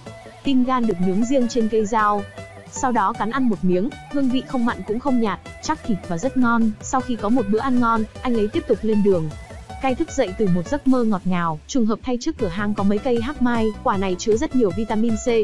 Nó có thể giúp cô ấy hồi phục sự tiêu hao năng lượng đã mất ngày hôm qua, trước khi đi đến ngọn núi tuyết. Anh ấy cần tạo các công cụ để hỗ trợ. Cây gậy này sẽ giúp anh băng qua núi tuyết, còn cái xương bánh chè này có thể làm vũ khí. Sau đó anh lại nhặt được một khúc xương ống, Kết hợp nó với cây gậy anh ấy đã có một bộ dụng cụ đi rừng hoành tráng. Tất nhiên cũng không nên coi thường gió tuyết. Lấy một mảnh vỏ của cây bạch dương, chia theo kích thước để chế tạo một chiếc mặt nạ. Nguyên tắc là giảm lượng ánh sáng đi vào để giảm tác hại đối với mắt. Sau khi làm xong, anh liền đeo nó lên vầng trán sáng bóng của mình. Đây có thể là một phiên bản lỗi của ninja rùa. Lúc này Kay đang tìm cách xuống núi. Vô tình cô ấy nhặt được một khúc xương to. Kích thước và độ dày vừa phải trong lòng bàn tay, rất thích hợp để làm gậy leo núi. Cô ấy đi đến một vách đá, Giờ cô không còn lối thoát, một là phải đi đường vòng hay lựa chọn một con đường khó khăn hơn. Đành cắt một phần khúc xương, quách rỗng tủy bên trong rồi luồn dây qua làm như một cái phanh tay. Sẵn sàng để di chuyển từ từ xuống.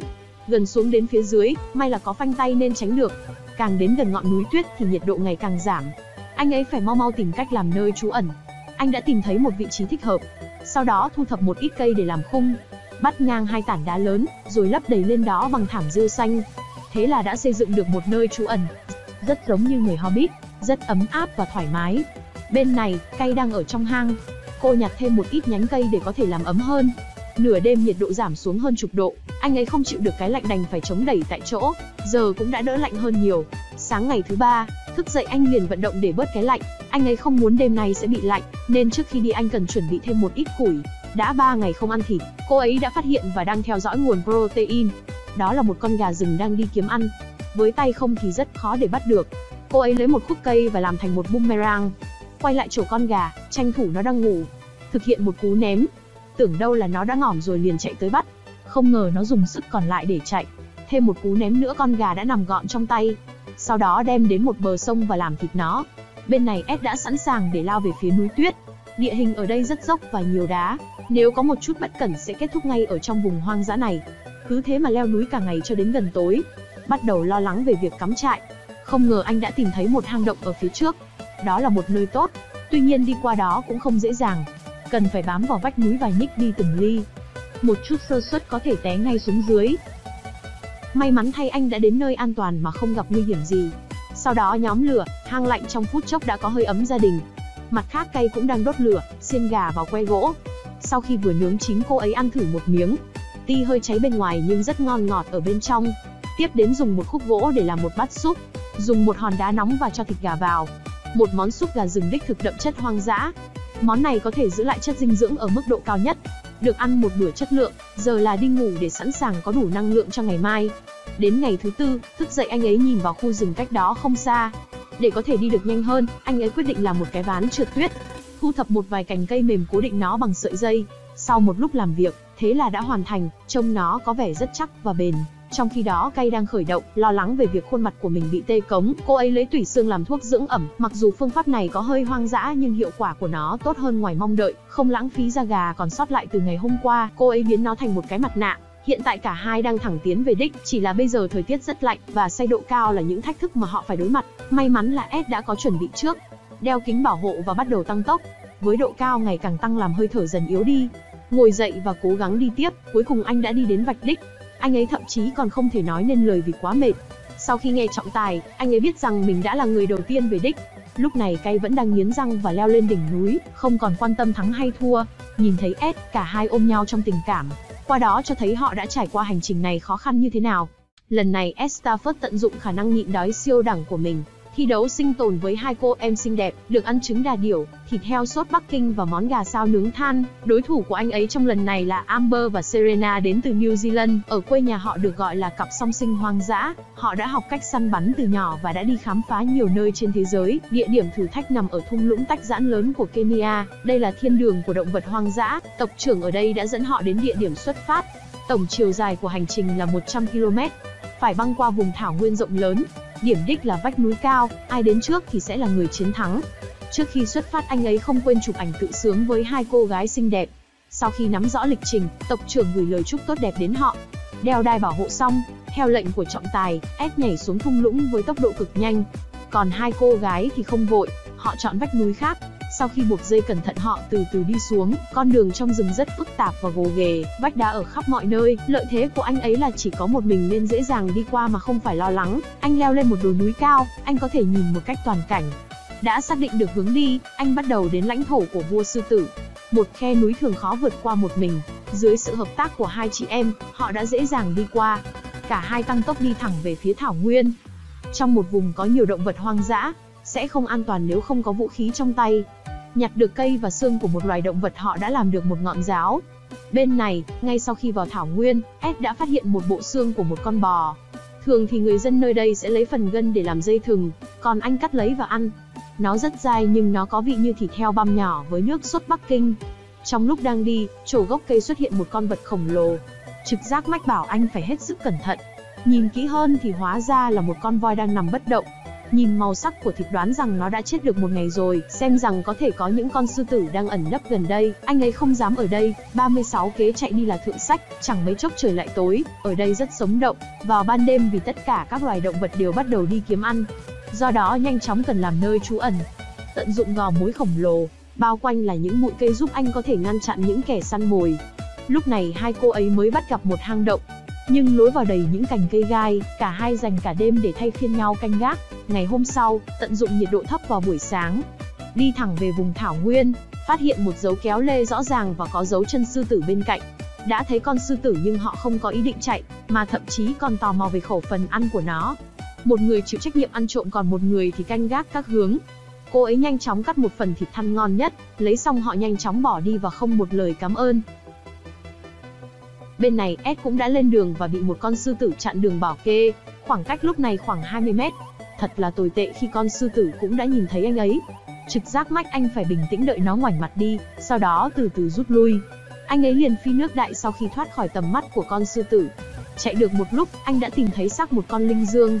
Sừng là vật liệu tốt để chế tạo vũ khí tự vệ. Chọn một cành cây gần đó và gắn cái sừng lên là có một vũ khí tuyệt vời. Sau gáy của anh đã nóng bừng vì nắng thiêu đốt, nhặt một khúc xương gần đó và mài nó. Lấy một mảnh vải khâu nó lại với chiếc nón. Khí chất của anh ngay lập tức được cải thiện. Sau đó tiếp tục tăng tốc lên đường, anh ấy đã đến gần một con sông. Hiện tại là mùa khô có rất nhiều động vật hoang dã tụ tập tại đây. Không khả thi nếu bơi qua sông này, cá sấu dưới nước luôn rình con mồi. Anh ấy chỉ có thể đi dọc theo dòng sông. Bây giờ đã muộn cần tìm một nơi để định cư. Đi bộ cả ngày, hai cô ấy đã mệt mỏi dã rời, Nhìn vào miếng thịt đã cảm thấy đói, họ chọn một bụi cây gần đó. Không chần chờ thêm nữa, cả hai bắt đầu nhóm lửa. Kỹ năng tạo lửa rất tốt, sau đó cắt miếng thịt và nướng nó lên. Thời gian đã đến ngày thứ ba. Thấy có nhiều dấu chân động vật ăn thịt xung quanh đây. Để đảm bảo an toàn họ nán lại đây một vài phút. Nhặt những khúc xương và nhánh cây xung quanh đó. Làm lại ngọn giáo và tạo được một cây cung. Sau đó tạo một mũi tên và liền thử bắn ngay. Hiệu quả rất tốt, không có protein trong vài ngày, anh ấy theo khỉ đầu chó và nhặt được một loại trái cây. Mặc dù hương vị không ngon, ít nhất cũng cung cấp cho anh ấy vitamin. Anh tiếp tục dọc theo con sông, tìm cơ hội thích hợp để qua sông. May mắn thay có một cái cây chết bắt qua con sông, cuối cùng cũng qua được. Thông thường những con kền kền sẽ không vô cớ đứng một chỗ. Hãy nhìn kỹ hơn về phía này, thì ra chúng lợi dụng đà điểu mẹ đi vắng, chúng đã tấn công những cái trứng, nó không có mùi khó chịu, nếu như tiếp tục ấp, nó sẽ không nở ra bất kỳ con nào, sao không mang đi ăn cho nó cái bụng, chọn một nơi dâm mát đập một cái lỗ trên vỏ trứng, khấy đều lên bằng một que gỗ, sau đó đổ lên đống than hồng, để ngọn lửa nướng lên trong 10 phút, đi đến một đoạn đường, thật may mắn hai chị em đã phát hiện một con gà đang lang thang gần đó, Bây giờ đã muộn, cả hai quyết định bắt tay nhau một người chịu trách nhiệm săn bắn, một người còn lại thì xây nơi trú ẩn cẩn thận từ từ theo dõi con gà và đưa mũi tên lên dây cung. Một khi cơ hội đến không do dự mà tung ra một đòn chí mạng. Cô ấy đúng là một thiện xạ. Giây tiếp theo con gà đã ngủ thiếp đi trên tay cô ấy, mang nó về và khoe chiến lợi phẩm. Ở phía bên này, món trứng nướng theo kiểu Ấn Độ cuối cùng cũng ra lò, ăn một miếng nó thật giòn, khiến mình tự hỏi anh ấy đang ăn gì có khi nào ăn nhằm cục than không? Sau khi ăn đủ chất, anh ấy dường như có sức mạnh vô tận. Anh đã chuẩn bị một ít củi, để trong trường hợp đối mặt với một con thú, anh ấy cần đốt lửa để tự vệ. Mặt khác, hai cô ấy đã làm được một cái võng treo trên cây, và có món gà nướng thơm phức. Trong nháy mắt màn đêm đã buông xuống, họ nhàn nhã ngồi trên cái võng và ăn thịt gà nướng. Lúc này Ed định thức trắng cả đêm để lên đường. Trong lúc đang đi, anh đã nghe tiếng sư tử gầm. Anh liền tức tốc nhóm lửa lên. Với sự hỗ trợ của đống lửa, có thể nói với những kẻ săn mồi đó tốt nhất là nên lùi lại, vì không biết ai sẽ là con mồi. Đến ngày thứ tư, sau 34 giờ không nghỉ ngơi, anh ấy có lẽ đang dẫn trước nhưng sức lực cũng nhanh chóng bước vào giai đoạn cạn kiệt. Anh ấy muốn đi tiếp nhưng đã hết năng lượng. Lúc này hai cô ấy cũng thức dậy trên chiếc võng. Nhiệm vụ tiếp theo là chỉ cần di chuyển nhanh về phía đích. Nhưng trước hết họ phải tìm cách qua sông. Đi dọc theo con sông nhìn bên kia có một cái cây to. Hai người dường như có một ý tưởng. Dự định là xây dựng một đường cáp treo giữa hai cây to lớn này. Buộc chặt sợi dây vào một khúc gỗ, bằng cách phóng lao, cố ấy đã ném vào cái cây bên kia. Điều này đòi hỏi cánh tay phải mạnh mẽ. Cuối cùng cũng mắc được sợi dây, hai người lần lượt qua sông. Phần còn lại của hành trình suôn sẻ hơn nhiều. Gần đến tối, họ cũng thấy bức tường đá khổng lồ ở phía xa. Hai đội đã cắm trại tại chỗ và nghỉ qua đêm. Đến ngày thứ năm, anh ấy dùng hết sức lực và chạy. Hai chị em cũng không hề kém cạnh cũng chạy nhanh về phía trước. Họ cần phải vượt qua những con dốc. Tại thời điểm này, Ed đã đến đích trước, chắc chắn trở thành thần tượng của mấy em gái ở bộ tộc. Ngay sau đó thì hai chị em cũng từ phía sau đi tới. Mặc dù kết quả không lý tưởng nhưng tham gia chương trình đã là một niềm vui. Video đến đây là hết chúc bạn có một ngày thật vui vẻ. Vòng thi này là trận chiến giữa Estafet và một đặc công ở Hàn Quốc, trong các hẻm núi của Kazakhstan. Dưới hiệu lệnh của trọng tài, Ed và Ken nhanh chóng lao về phía chân núi. Tốc độ cực nhanh, đến mức hai anh quay phim đuổi theo gần như không kịp. Lúc này Ken dẫn đầu và đi vào một ngõ cụt. Anh ấy dùng sức của đôi tay cố bám lấy, nhưng đất ở đây quá mềm. Anh ấy cho rằng nơi này phong thủy không được tốt lắm, chắc phải đi chọn một vị trí khác. Lúc này Ed cũng đi đến một ngõ cụt, một vách núi cao gần 50 mét. Hiển nhiên chỗ này Ed không thể lên được. Vách tường dựng đứng và đất lại rất mềm. Không còn cách nào khác, giống như Ken anh cũng đi tìm một vị trí khác. Một lúc sau đó, không may cho anh khi vượt qua bức tường đá này, cơ ngực của anh quá phát triển nên bị mắc kẹt ở giữa. Nhưng S là ai? Cơn giận của anh ấy chìm trong đan điền, anh ấy đạp mạnh và lao thẳng tới. Ken ở phía bên kia, vẫn đang leo trên bức tường dựng đứng, anh ấy không hài lòng với màn trình diễn của mình và cố gắng từng bước một về phía đỉnh núi với một con dao. Tầm nhìn từ trên cao tương đối rộng, chiếm được địa hình thuận lợi là một ưu thế lớn. S khốn khổ và tội nghiệp vẫn đang vùng vẫy trong những khe núi phức tạp. Mãi cho đến khi nhìn thấy dấu chân trên mặt đất trước mắt một lần nữa, anh ấy mới biết anh đã từng thử vượt qua ở đây rồi. Có lẽ đây là mê cung anh chưa thoát ra được. Anh ấy tức giận đến mức hét lên. Chớp mắt đã đến ngày thứ hai. Lúc này Ed cảm thấy rất chán nản. Ngủ cả đêm dựa vào tảng đá cứng, anh tự hỏi liệu mình có nên tiếp tục đi lên không. Trong mê cung đầy bụi này, anh ấy đã tìm thấy một bộ xương lạc đà. Có lẽ nó cũng khá lâu rồi. Xem ra hôm nay cũng được coi là có chút thu hoạch. Anh nhặt lấy và tiếp tục đi về phía trước. Đây là một vách tường cao 2,5 mét. S sẽ dùng những chiếc xương lạc đà sa mạc này để chống chân và bắt đầu leo lên. Sau khi leo lên được phía trên, anh ấy nói rằng anh không muốn xương sườn của lạc đà nữa và để chúng cho nhiếp ảnh ra ăn vào ban đêm. Nhìn xung quanh, anh vô tình tìm thấy dấu vết của Ken. Hiện tại anh ấy đang cố gắng để leo lên đỉnh đồi. Lúc này Ken cũng đã phát hiện Ed đang đi ở phía bên kia. Lúc này trong suy nghĩ hai người họ chỉ muốn chạy thật nhanh để có thể dẫn trước đối phương. Và hai người họ đã chạy qua núi như thế này. Thấy rằng có một vách đá trước mặt S Ken mỉm cười hạnh phúc, nhưng chưa kịp cười với S anh ấy thấy rằng tình hình của anh cũng không khác mấy. Cả hai người họ đều ở trên bờ vực. Ken suy nghĩ một hồi và quyết định lao ngay xuống dưới. Phải nói là tình huống xuống dốc này nhìn anh rất cung ngầu, anh ấy sử dụng cái xương bánh chè của con lạc đà để làm giảm lại tốc độ. Lúc trượt xuống anh cũng không quên nhìn xem S có hành động gì không. Cuối cùng Ken cũng đã xuống tận đáy của xã hội rồi. Anh hói nhà ta hôm nay đã gặp kẻ điên thật rồi, làm anh ấy trở nên bối rối. Đây là một vách đá gần 90 mét. Ed đã không mạo hiểm. Anh ấy đã chọn một con đường khác để xuống núi. Trên đường xuống núi, anh ấy đã tìm thấy nguồn nước, mặc dù là một vũng nước tù động nhưng không sao, có thể uống được. Ken tìm thấy một hang động, lúc đầu nó rất hẹp, sau khi đi được mấy chục bước chợt thấy có ánh sáng. Bây giờ Ken đã bước ra khỏi mê cung và xung quanh đã biến thành đồng cỏ. Sau khi chạy liên tục hàng giờ đồng hồ, thì trời cũng đã tối, anh ấy cuối cùng cũng uống được một ngụm nước. Đến ngày thứ ba của cuộc thi, Ken đang hóng gió bên bờ sông, mình nghĩ có lẽ đã đến lúc đóng thuyền, nhưng anh ấy lại không nghĩ như vậy. Anh lao ngay xuống nước và bơi qua. Ed phát hiện có rất nhiều thỏ rừng trên đường đi. Ken thì đang nghĩ cách để thắng trò chơi, còn Ed vẫn đang nghĩ đến việc làm nên một cái bẫy nhỏ bằng những cây liễu. Ngay sau đó, anh ấy đi ra bãi cỏ để tìm mục tiêu. Anh ấy thực sự bắt được một con thỏ rừng. Những chú thỏ mông trần thích chơi đùa, vô tình lọt vào tầm mắt của anh ấy. Nướng lên và cắt lấy một miếng, một miếng thịt nướng thơm ngon. Ken bên này nhặt được một con cá chết, nhưng nó bốc lên một mùi kinh khủng. Ngay sau đó anh dùng làm mồi câu và bắt được một con cá chê thật to. Con này ước chừng khoảng 6 đến 7 kg, sau đó đem nướng lên và tận hưởng cuộc sống. Nhìn vẻ mặt thích thú của anh ấy, mình biết rằng anh ấy đã rất đói. Đây là bữa ăn ngon nhất của anh trong mấy ngày qua. Ed bên này thức dậy sớm và tiếp tục khoay đống thịt nướng, sau đó anh ấy đến bờ sông và tìm thấy một miếng da lạc đà, dùng cây liễu để làm một cái phao cứu sinh và cuối cùng trải tấm da lạc đà lên. Ở phía bên kia, Ken đã làm một chiếc thuyền bằng sậy và anh ấy kiểm tra kích thước của chiếc thuyền. Rồi anh tưởng tượng ra đôi bàn tay lực lưỡng của mình nắm chặt mái chèo và khua từng cái. Ed tìm thấy một cành cây ở đây, tưởng tượng như chân của con vịt, để tạo ra nó, Ed đã cởi quần của mình. Bây giờ mọi thứ đã được xác định, anh ấy bắt đầu cuộc hành trình một cách kiên quyết. Anh ấy vung mái chèo, con sóng đẩy thuyền ra xa, Ed chèo xuôi theo dòng nước. Bên kia là Ken cũng bắt đầu lên đường.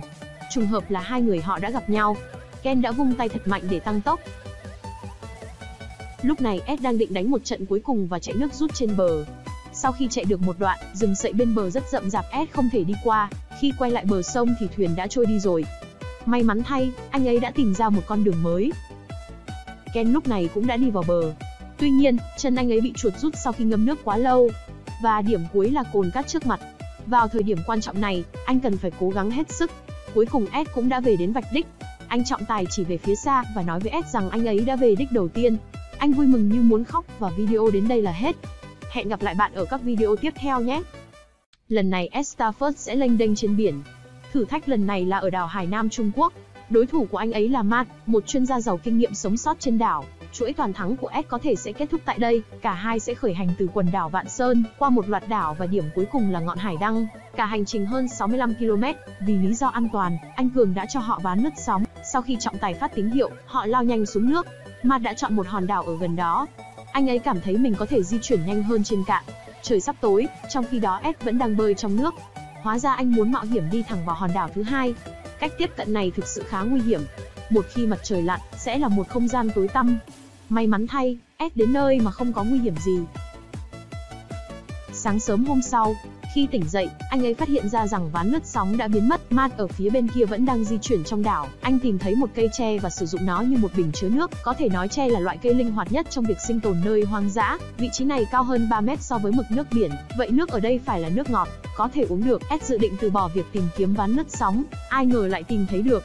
Giờ Ed không vội đi tiếp mà thay vào đó là đi tìm thức ăn. Điều này thực sự không phù hợp với biệt danh nhịn đói 3 ngày của anh ấy. Củ này được gọi là khoai môn. Nó chứa rất nhiều tinh bột. Không lâu sau khi ăn xong, anh cảm thấy rất ngứa. Anh chợt nhớ ra khoai môn có chứa một lượng nhỏ chất độc. Tốt hơn hết chỉ có thể được nấu chín mới ăn được. Anh lại phát hiện một cây chuối, mình phải nói rằng hòn đảo mà anh ấy đang ở hiện tại khá phong phú về vật chất, có thể uống nước trực tiếp trên thân chuối. Bên này, đảo của Matt thì đầy rác, chúng đều được đưa đến đây bởi gió và hải lưu, nhưng thường những điều mà người khác không muốn thì thay vào đó nó là bảo vật đối với những người sinh tồn trên đảo. Ed bên này đang chuẩn bị nhóm lửa, bởi vì anh ấy không thể chờ đợi để ăn một bữa khoai môn. Sau khi có lửa, anh vùi khoai vào đất như nướng khoai lang. Trong thời gian chờ đợi, anh cắt mấy nhánh lá gần đó, lấy dao cắt một mảnh cho nó vừa đủ để làm mái che. Sau khi lặp lại một thao tác hàng chục lần, một ngôi nhà sang trọng đã được xây dựng. Anh ấy không nghỉ ngơi, mà thay vào đó một mái chèo đã được làm trước để chuẩn bị cho chuyến đi ngày mai. Xong xuôi anh cắt khoai môn nướng, cắn ăn một miếng, nhìn vào biểu cảm của anh ấy. Rõ ràng anh rất hài lòng với món ăn này. Lúc này, Matt đang làm một chiếc bè, chiếc xe ba bánh nhặt được này sẽ góp phần quan trọng trong quyết định chiến thắng. Anh muốn làm một chiếc bè có thể sử dụng bàn đạp thay vì dùng tay chèo. Để có tốc độ tốt hơn Matt đã lắp miếng đệm vào lốp xe. Giờ là lúc để thử nghiệm. Sóng vỗ rất dữ dội, rõ ràng bánh xe không thể cung cấp một lực để đi về phía trước. Kế hoạch đã thất bại. Ý tưởng của Ed rất truyền thống. Anh chỉ muốn làm một chiếc bè đơn giản. Để giữ cây tre trên tấm ván trượt, nhặt được một thanh sắt, anh muốn đục thẳng qua một cái lỗ, như cách anh đã đục người yêu cũ. Tuy nhiên điều này sẽ làm loại bỏ lớp nhựa trên tấm ván. Cách tốt nhất là nung nóng thanh sắt đến nhiệt độ cao, mát bên kia tốn bao công sức mà làm toàn những thứ linh tinh. Anh ấy rất tức giận nên muốn ăn gì đó để bình tĩnh lại. Lấy một đoạn tre, anh sẽ làm một cây cung lao. Nguyên lý hoạt động của dụng cụ này giống với súng cao su, dùng lực kéo từ ruột xe và tung một đòn chí mạng. Matt đã ngắm trúng một con lươn, nó đang cố trốn thoát. Matt trực tiếp bóp nó bằng cánh tay đầy lực của mình. Đây là nguồn protein mà anh ấy có từ đầu đến giờ. Anh lựa chọn cách ăn sashimi. Nhưng để dự trữ thức ăn anh ấy sẽ làm khô nó. Hun khói là cách truyền thống để ngăn thịt bị thối rữa. Hiện tại Ed vẫn đang dẫn đầu. Matt thức dậy từ sáng sớm và nhặt được một chiếc xô nhựa tận dụng để làm một mái chèo. Công cụ này có thể giúp anh ấy đi nhanh hơn. Matt đã không nhận ra anh ấy đang ở phía sau, nên anh thong thả ăn lươn khô, bình thường như đi nghỉ dưỡng. Lúc này Ed đang đứng trên điểm cao nhất của đảo. Theo như quan sát, vị trí của ngọn hải đăng cách đó khoảng chục cây số. Anh muốn đến đó trước khi trời tối. Sức mạnh được tạo ra bởi mái chèo là không đủ. Bây giờ có gió, vậy nên Ed muốn tận dụng sức mạnh của thiên nhiên để làm một chiếc thuyền buồm. Đối với cánh buồm, nếu bạn không thể tìm thấy vật liệu, bạn có thể sử dụng quần áo. Nếu chưa đủ có thể cởi thêm quần. Ed nói như thế là đủ rồi nên từ chối cởi quần ra. Anh ấy lấy lá dừa và đan nó lại với nhau. Mình phải nói rằng Ed rất khéo làm đồ thủ công. Nhưng Ed không vội rời đi anh ấy muốn ăn gì đó trước. Phải có thức ăn mang theo cùng. Vì vậy Ed đã làm một cây cung.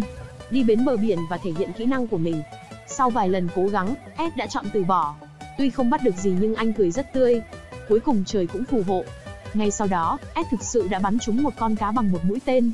Thật sự rất vui mừng. Giờ thì đã có protein, không lo về thức ăn nữa rồi. Có thể bổ sung năng lượng cho đến chặng cuối cuộc thi.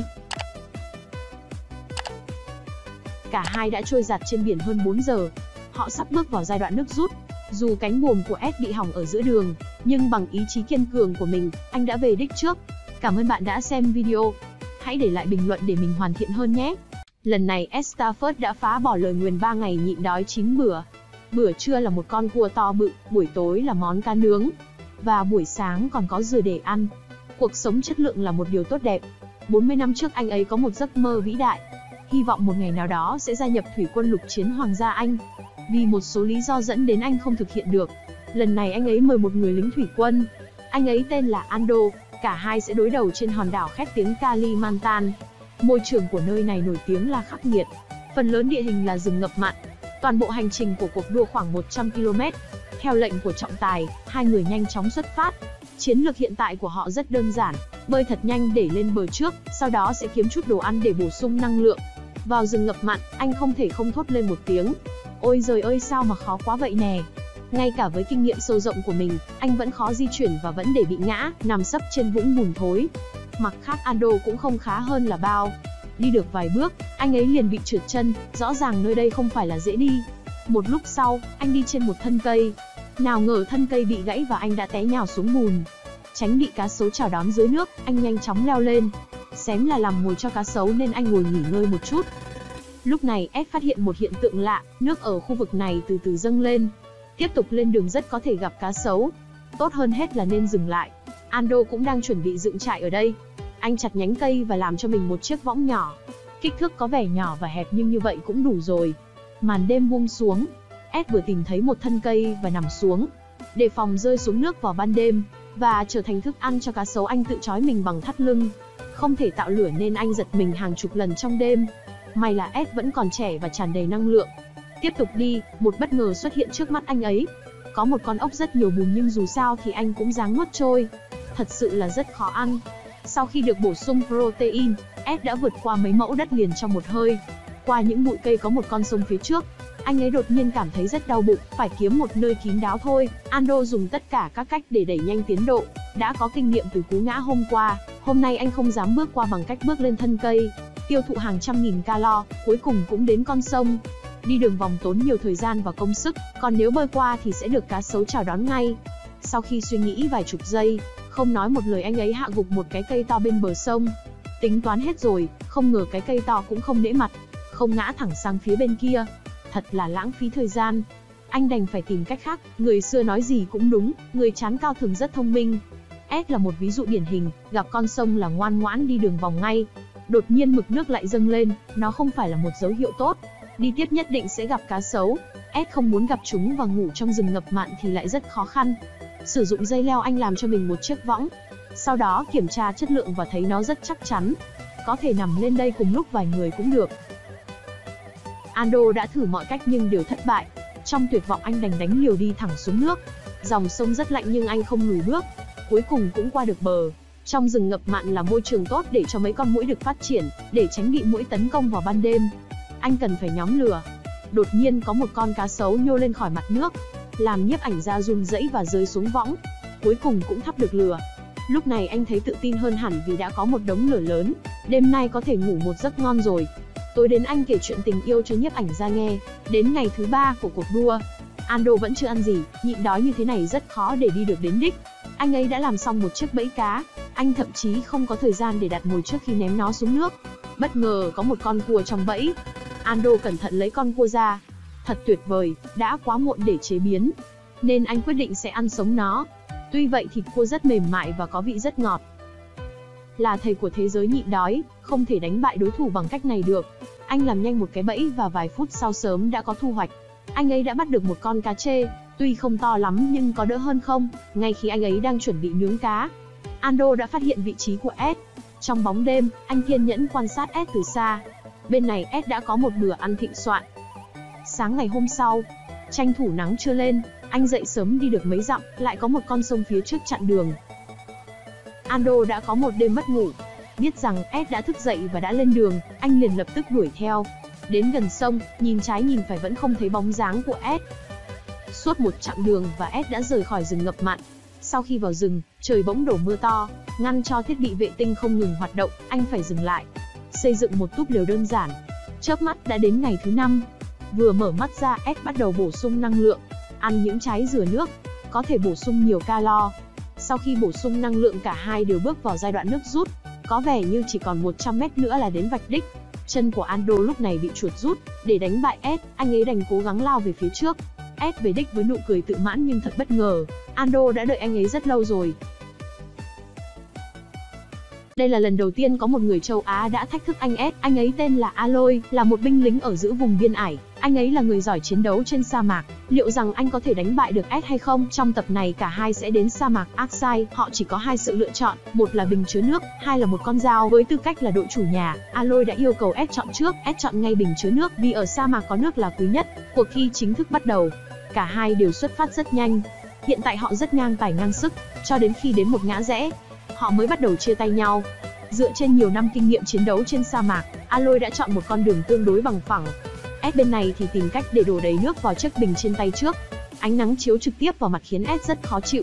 Anh muốn đi dọc theo bên trong hẻm núi, chọn con đường này khiến anh cảm thấy bớt nóng hơn. Aloy ở phía bên kia phát hiện một cây nấm, chiến lược chống nắng của anh ấy là sử dụng các bào tử của nấm để tạo ra một loại kem chống nắng đơn giản, trà mịn và cho thêm ít chất lỏng 37 độ từ cơ thể. Sau khi hoàn thành thoa điều phấn đã trộn lên mặt, những người trong quân đội đôi khi sử dụng phương pháp này để ngụy trang. Vô tình anh thấy một tổ kiến ở gần đó. Đây là một loại protein rất hiếm trong sa mạc. Nó có vị hơi chua và có cảm giác lưỡi bị tê. Anh ấy kể lúc nhỏ đã từng ăn một tổ kiến và sau đó đưa thẳng đến bệnh viện. Tiếp theo cả hai sẽ đi đến địa hình Gia Giang. Đặc điểm rõ ràng nhất của địa hình Gia Giang là đất rất mềm, có thể dễ dàng làm vỡ chúng thành nhiều mảnh nhỏ, vì thế không thể bám được. Anh ấy leo lên núi bằng cách tự lưng vào trong khe rãnh. Với cách này anh ấy có thể dễ dàng vượt qua hơn. Khi anh ấy đi lên đỉnh núi, anh phát hiện có nhiều dấu chân. Anh nghi ngờ rằng Ed đang ở gần đây. Vì vậy anh dùng một miếng gạc trên cơ thể để làm một bộ đồ rồi lẻn đi qua.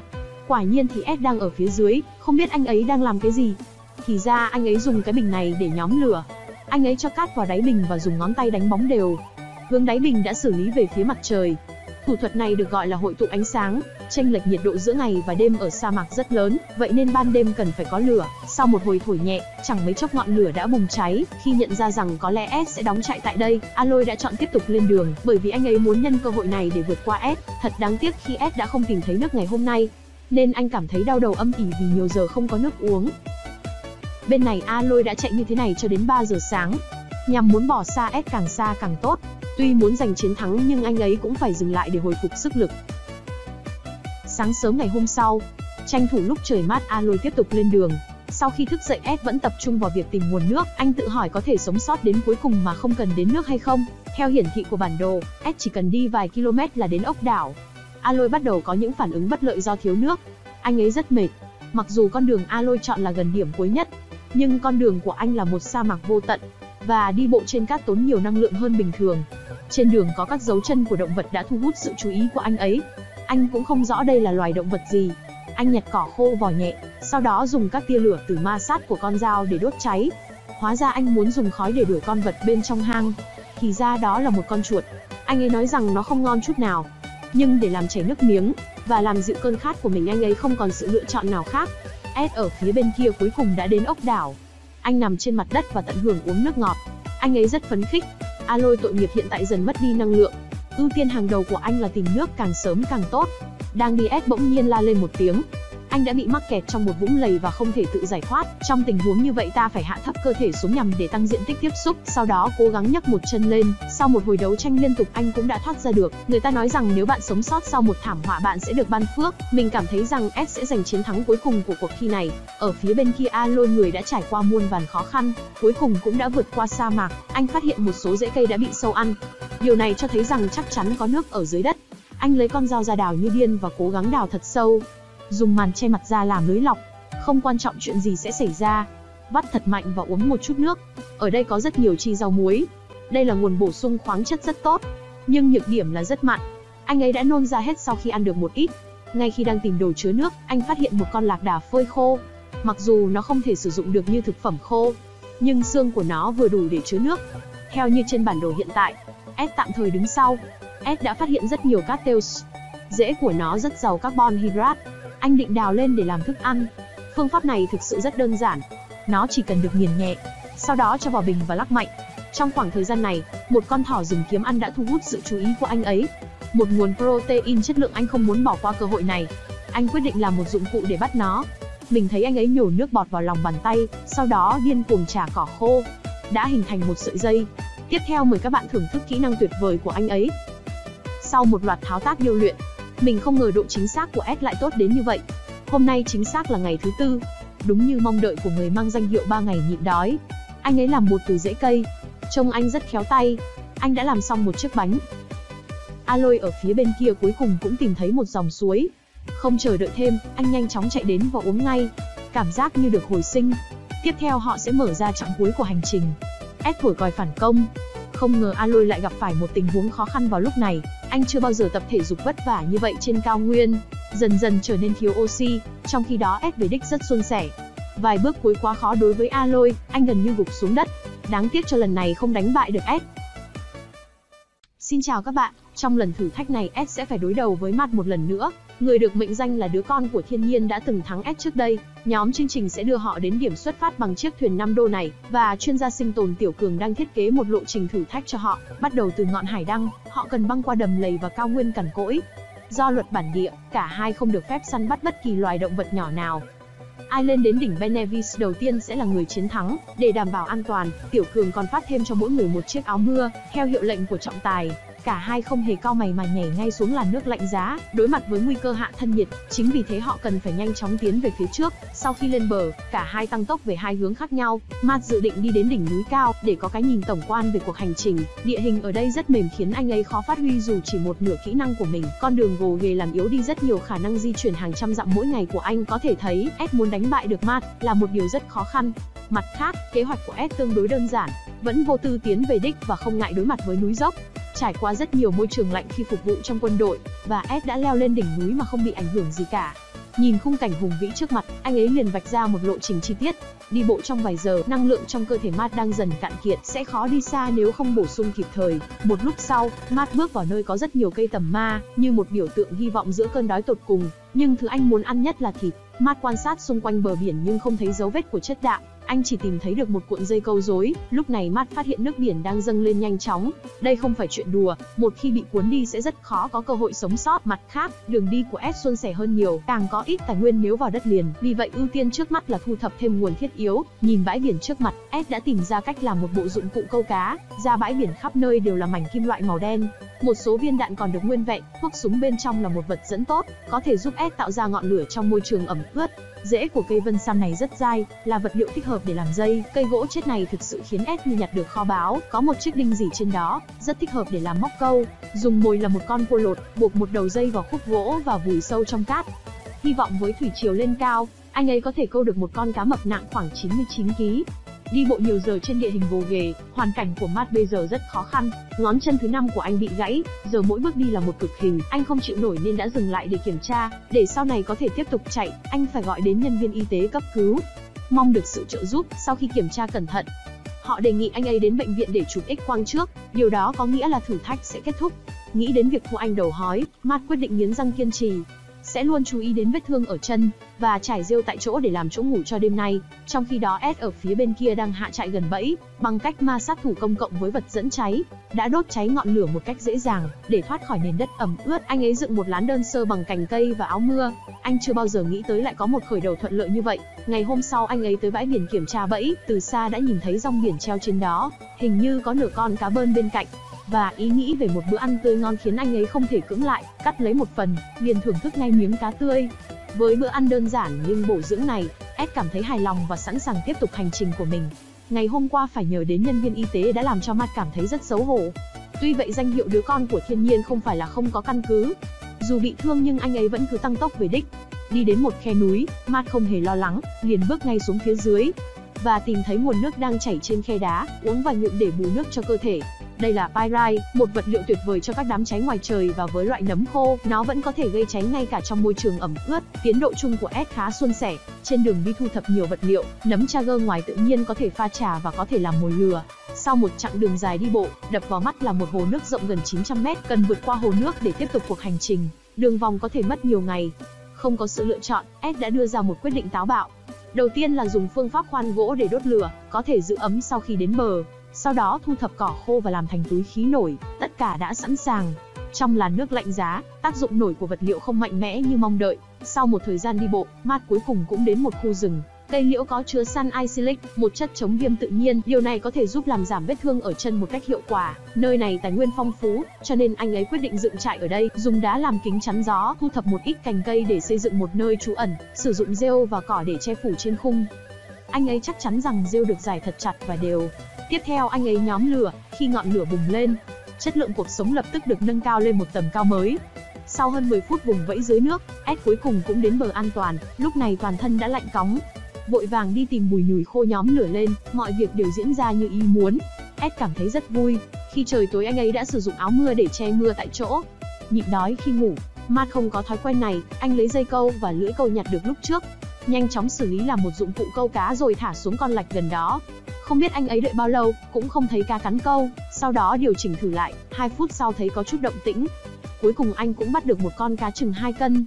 Sau khi làm sạch nội tạng, sâu vào que gỗ và đem về trại nướng lên trên lửa, 3 lần 7 23 phút, một con cá nướng hoang dã với màu sắc và mùi thơm ngon được nướng chín.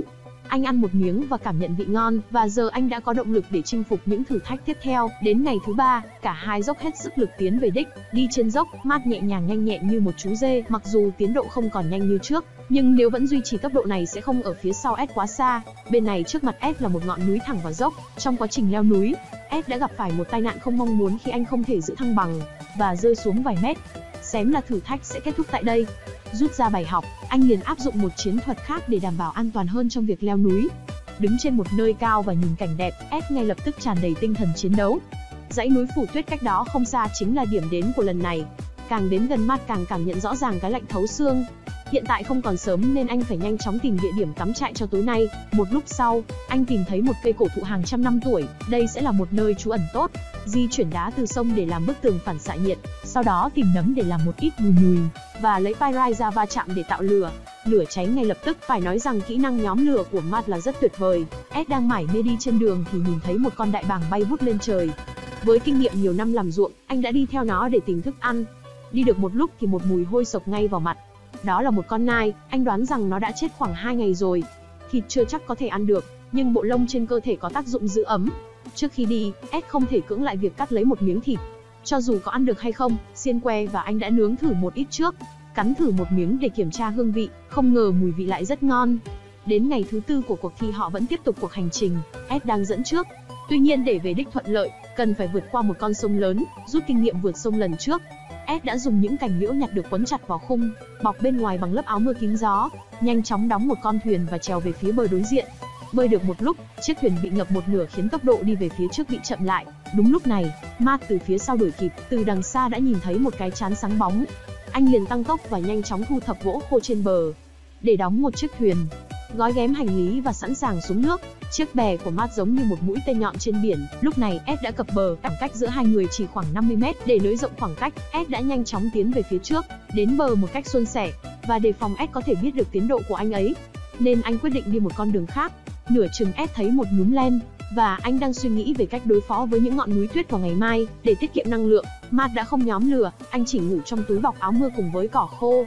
Thời gian đã đến ngày thứ năm, đây là chặng nước rút cuối cùng. Ed lo lắng vùng trán của mình sẽ bị lạnh cóng, nên anh ấy đã làm một chiếc mũ len. Trông cũng khá tốt, nhưng mặt lại làm ngược lại, không những không giữ ấm mà còn cởi cả quần. Thì ra anh ấy muốn giảm lực cản. Anh sẽ thành từng mảnh và buộc chặt quanh cổ chân. Bây giờ, 4 ngày thi đấu chỉ chờ giờ phút này để bộc phát. Anh ấy đạp ga điên cuồng chạy, còn Ed đang đi bộ dọc theo đường núi. Ed đã bị Matt đánh bại một lần và anh ấy không cho phép điều đó xảy ra lần nữa.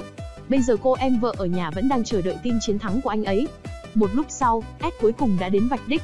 Giờ anh ấy chỉ muốn biết ngay kết quả. Và thực sự lần này Ed đã về đích đầu tiên. Ngay sau đó Matt cũng vừa đến, nhìn thấy Ed đứng đó anh ấy không có gì ngạc nhiên. Cho dù là thua, nhưng Matt cũng không quá buồn bực, dù sao chiến thắng mãi cũng thật sự rất cô đơn. Tham gia thử thách sinh tồn qua nhiều năm, cuối cùng anh ấy cũng gặp được một đối thủ mạnh. John là một chuyên gia hướng dẫn sinh tồn nơi hoang dã. Lần này anh ấy đã đi qua hàng ngàn dặm đến dãy Himalaya, để dạy cho Ed Stafford một bài học. Ngồi trên xe cả hai đã kể nhau nghe về các chiến tích mà họ đã từng trải qua. Cuộc chiến giữa các cao thủ.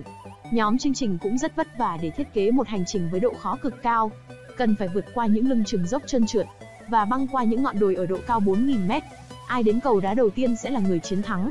Luật thi đấu vẫn giữ nguyên. Theo lệnh của trọng tài hai người đi về hai hướng khác nhau. Ý định của John là muốn mạo hiểm. Anh ấy chọn trèo qua những ngọn đồi. Ed không dám mạo hiểm giống như anh ấy. Chọn hành trình là dọc theo con rạch. Một lúc đã có một thác nước phía trước. Chọn đường vòng tốn rất nhiều thời gian. Khi anh ấy nhảy qua vô tình bị rơi xuống nước. Nhưng đó không phải là một điều xấu, anh ấy có thể tắm trước khi bắt đầu hành trình.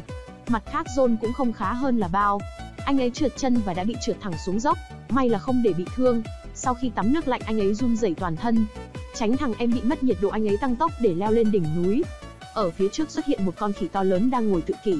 Làm anh ấy nhớ đến món khỉ nướng anh ấy từng ăn ở Amazon. Ngay sau đó thời tiết thay đổi đột ngột. Sương phủ dày đặc và tầm nhìn ngày càng hạn chế. Anh ấy phải nhanh chóng xuống đồi. Đi được vài bước anh ấy sợ đến toát mồ hôi lạnh vì xém ra khỏi vách đá. Không có bản đồ anh đã đi nhầm vào những bụi cây chẳng chịt. Lúc này trời đang mưa nên đây không phải là thời điểm tốt để tiếp tục đi. Sử dụng tài nguyên hiện có anh nhanh chóng dựng một cái lán nhỏ. Hiệu quả chống mưa có vẻ không tốt lắm, một lát sau anh đã bị ướt hết người. John ở phía bên này đang lên đường trong mưa.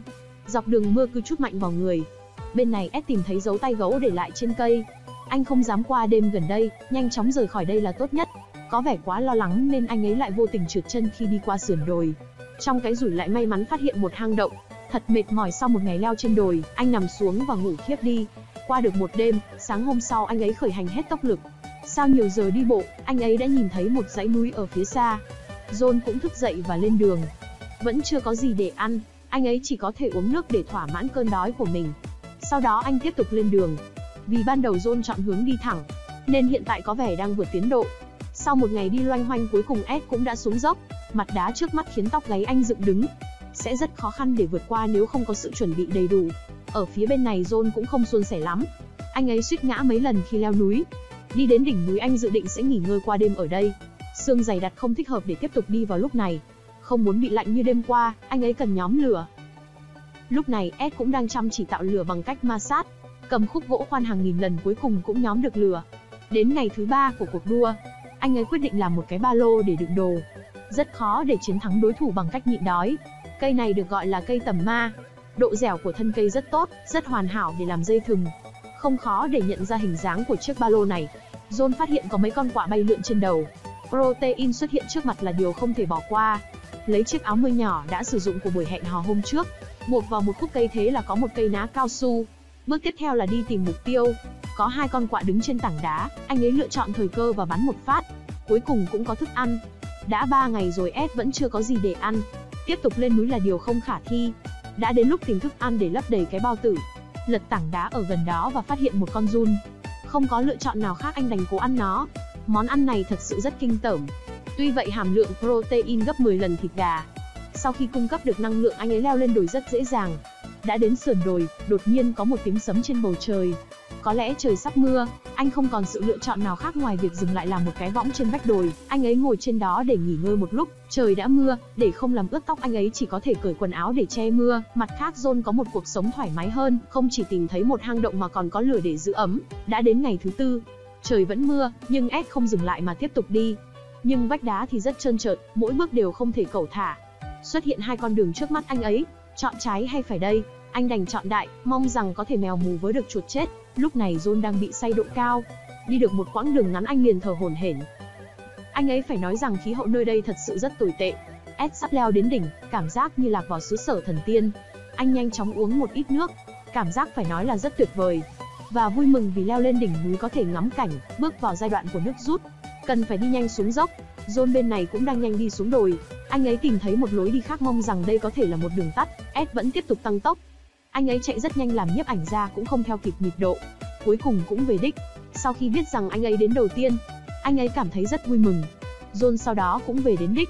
Nhưng lúc này anh cảm thấy rất là mệt mỏi. Cuối cùng cuộc thi đấu cũng đã kết thúc. Cảm ơn bạn đã xem video. Hãy like và đăng ký kênh để ủng hộ mình nhé.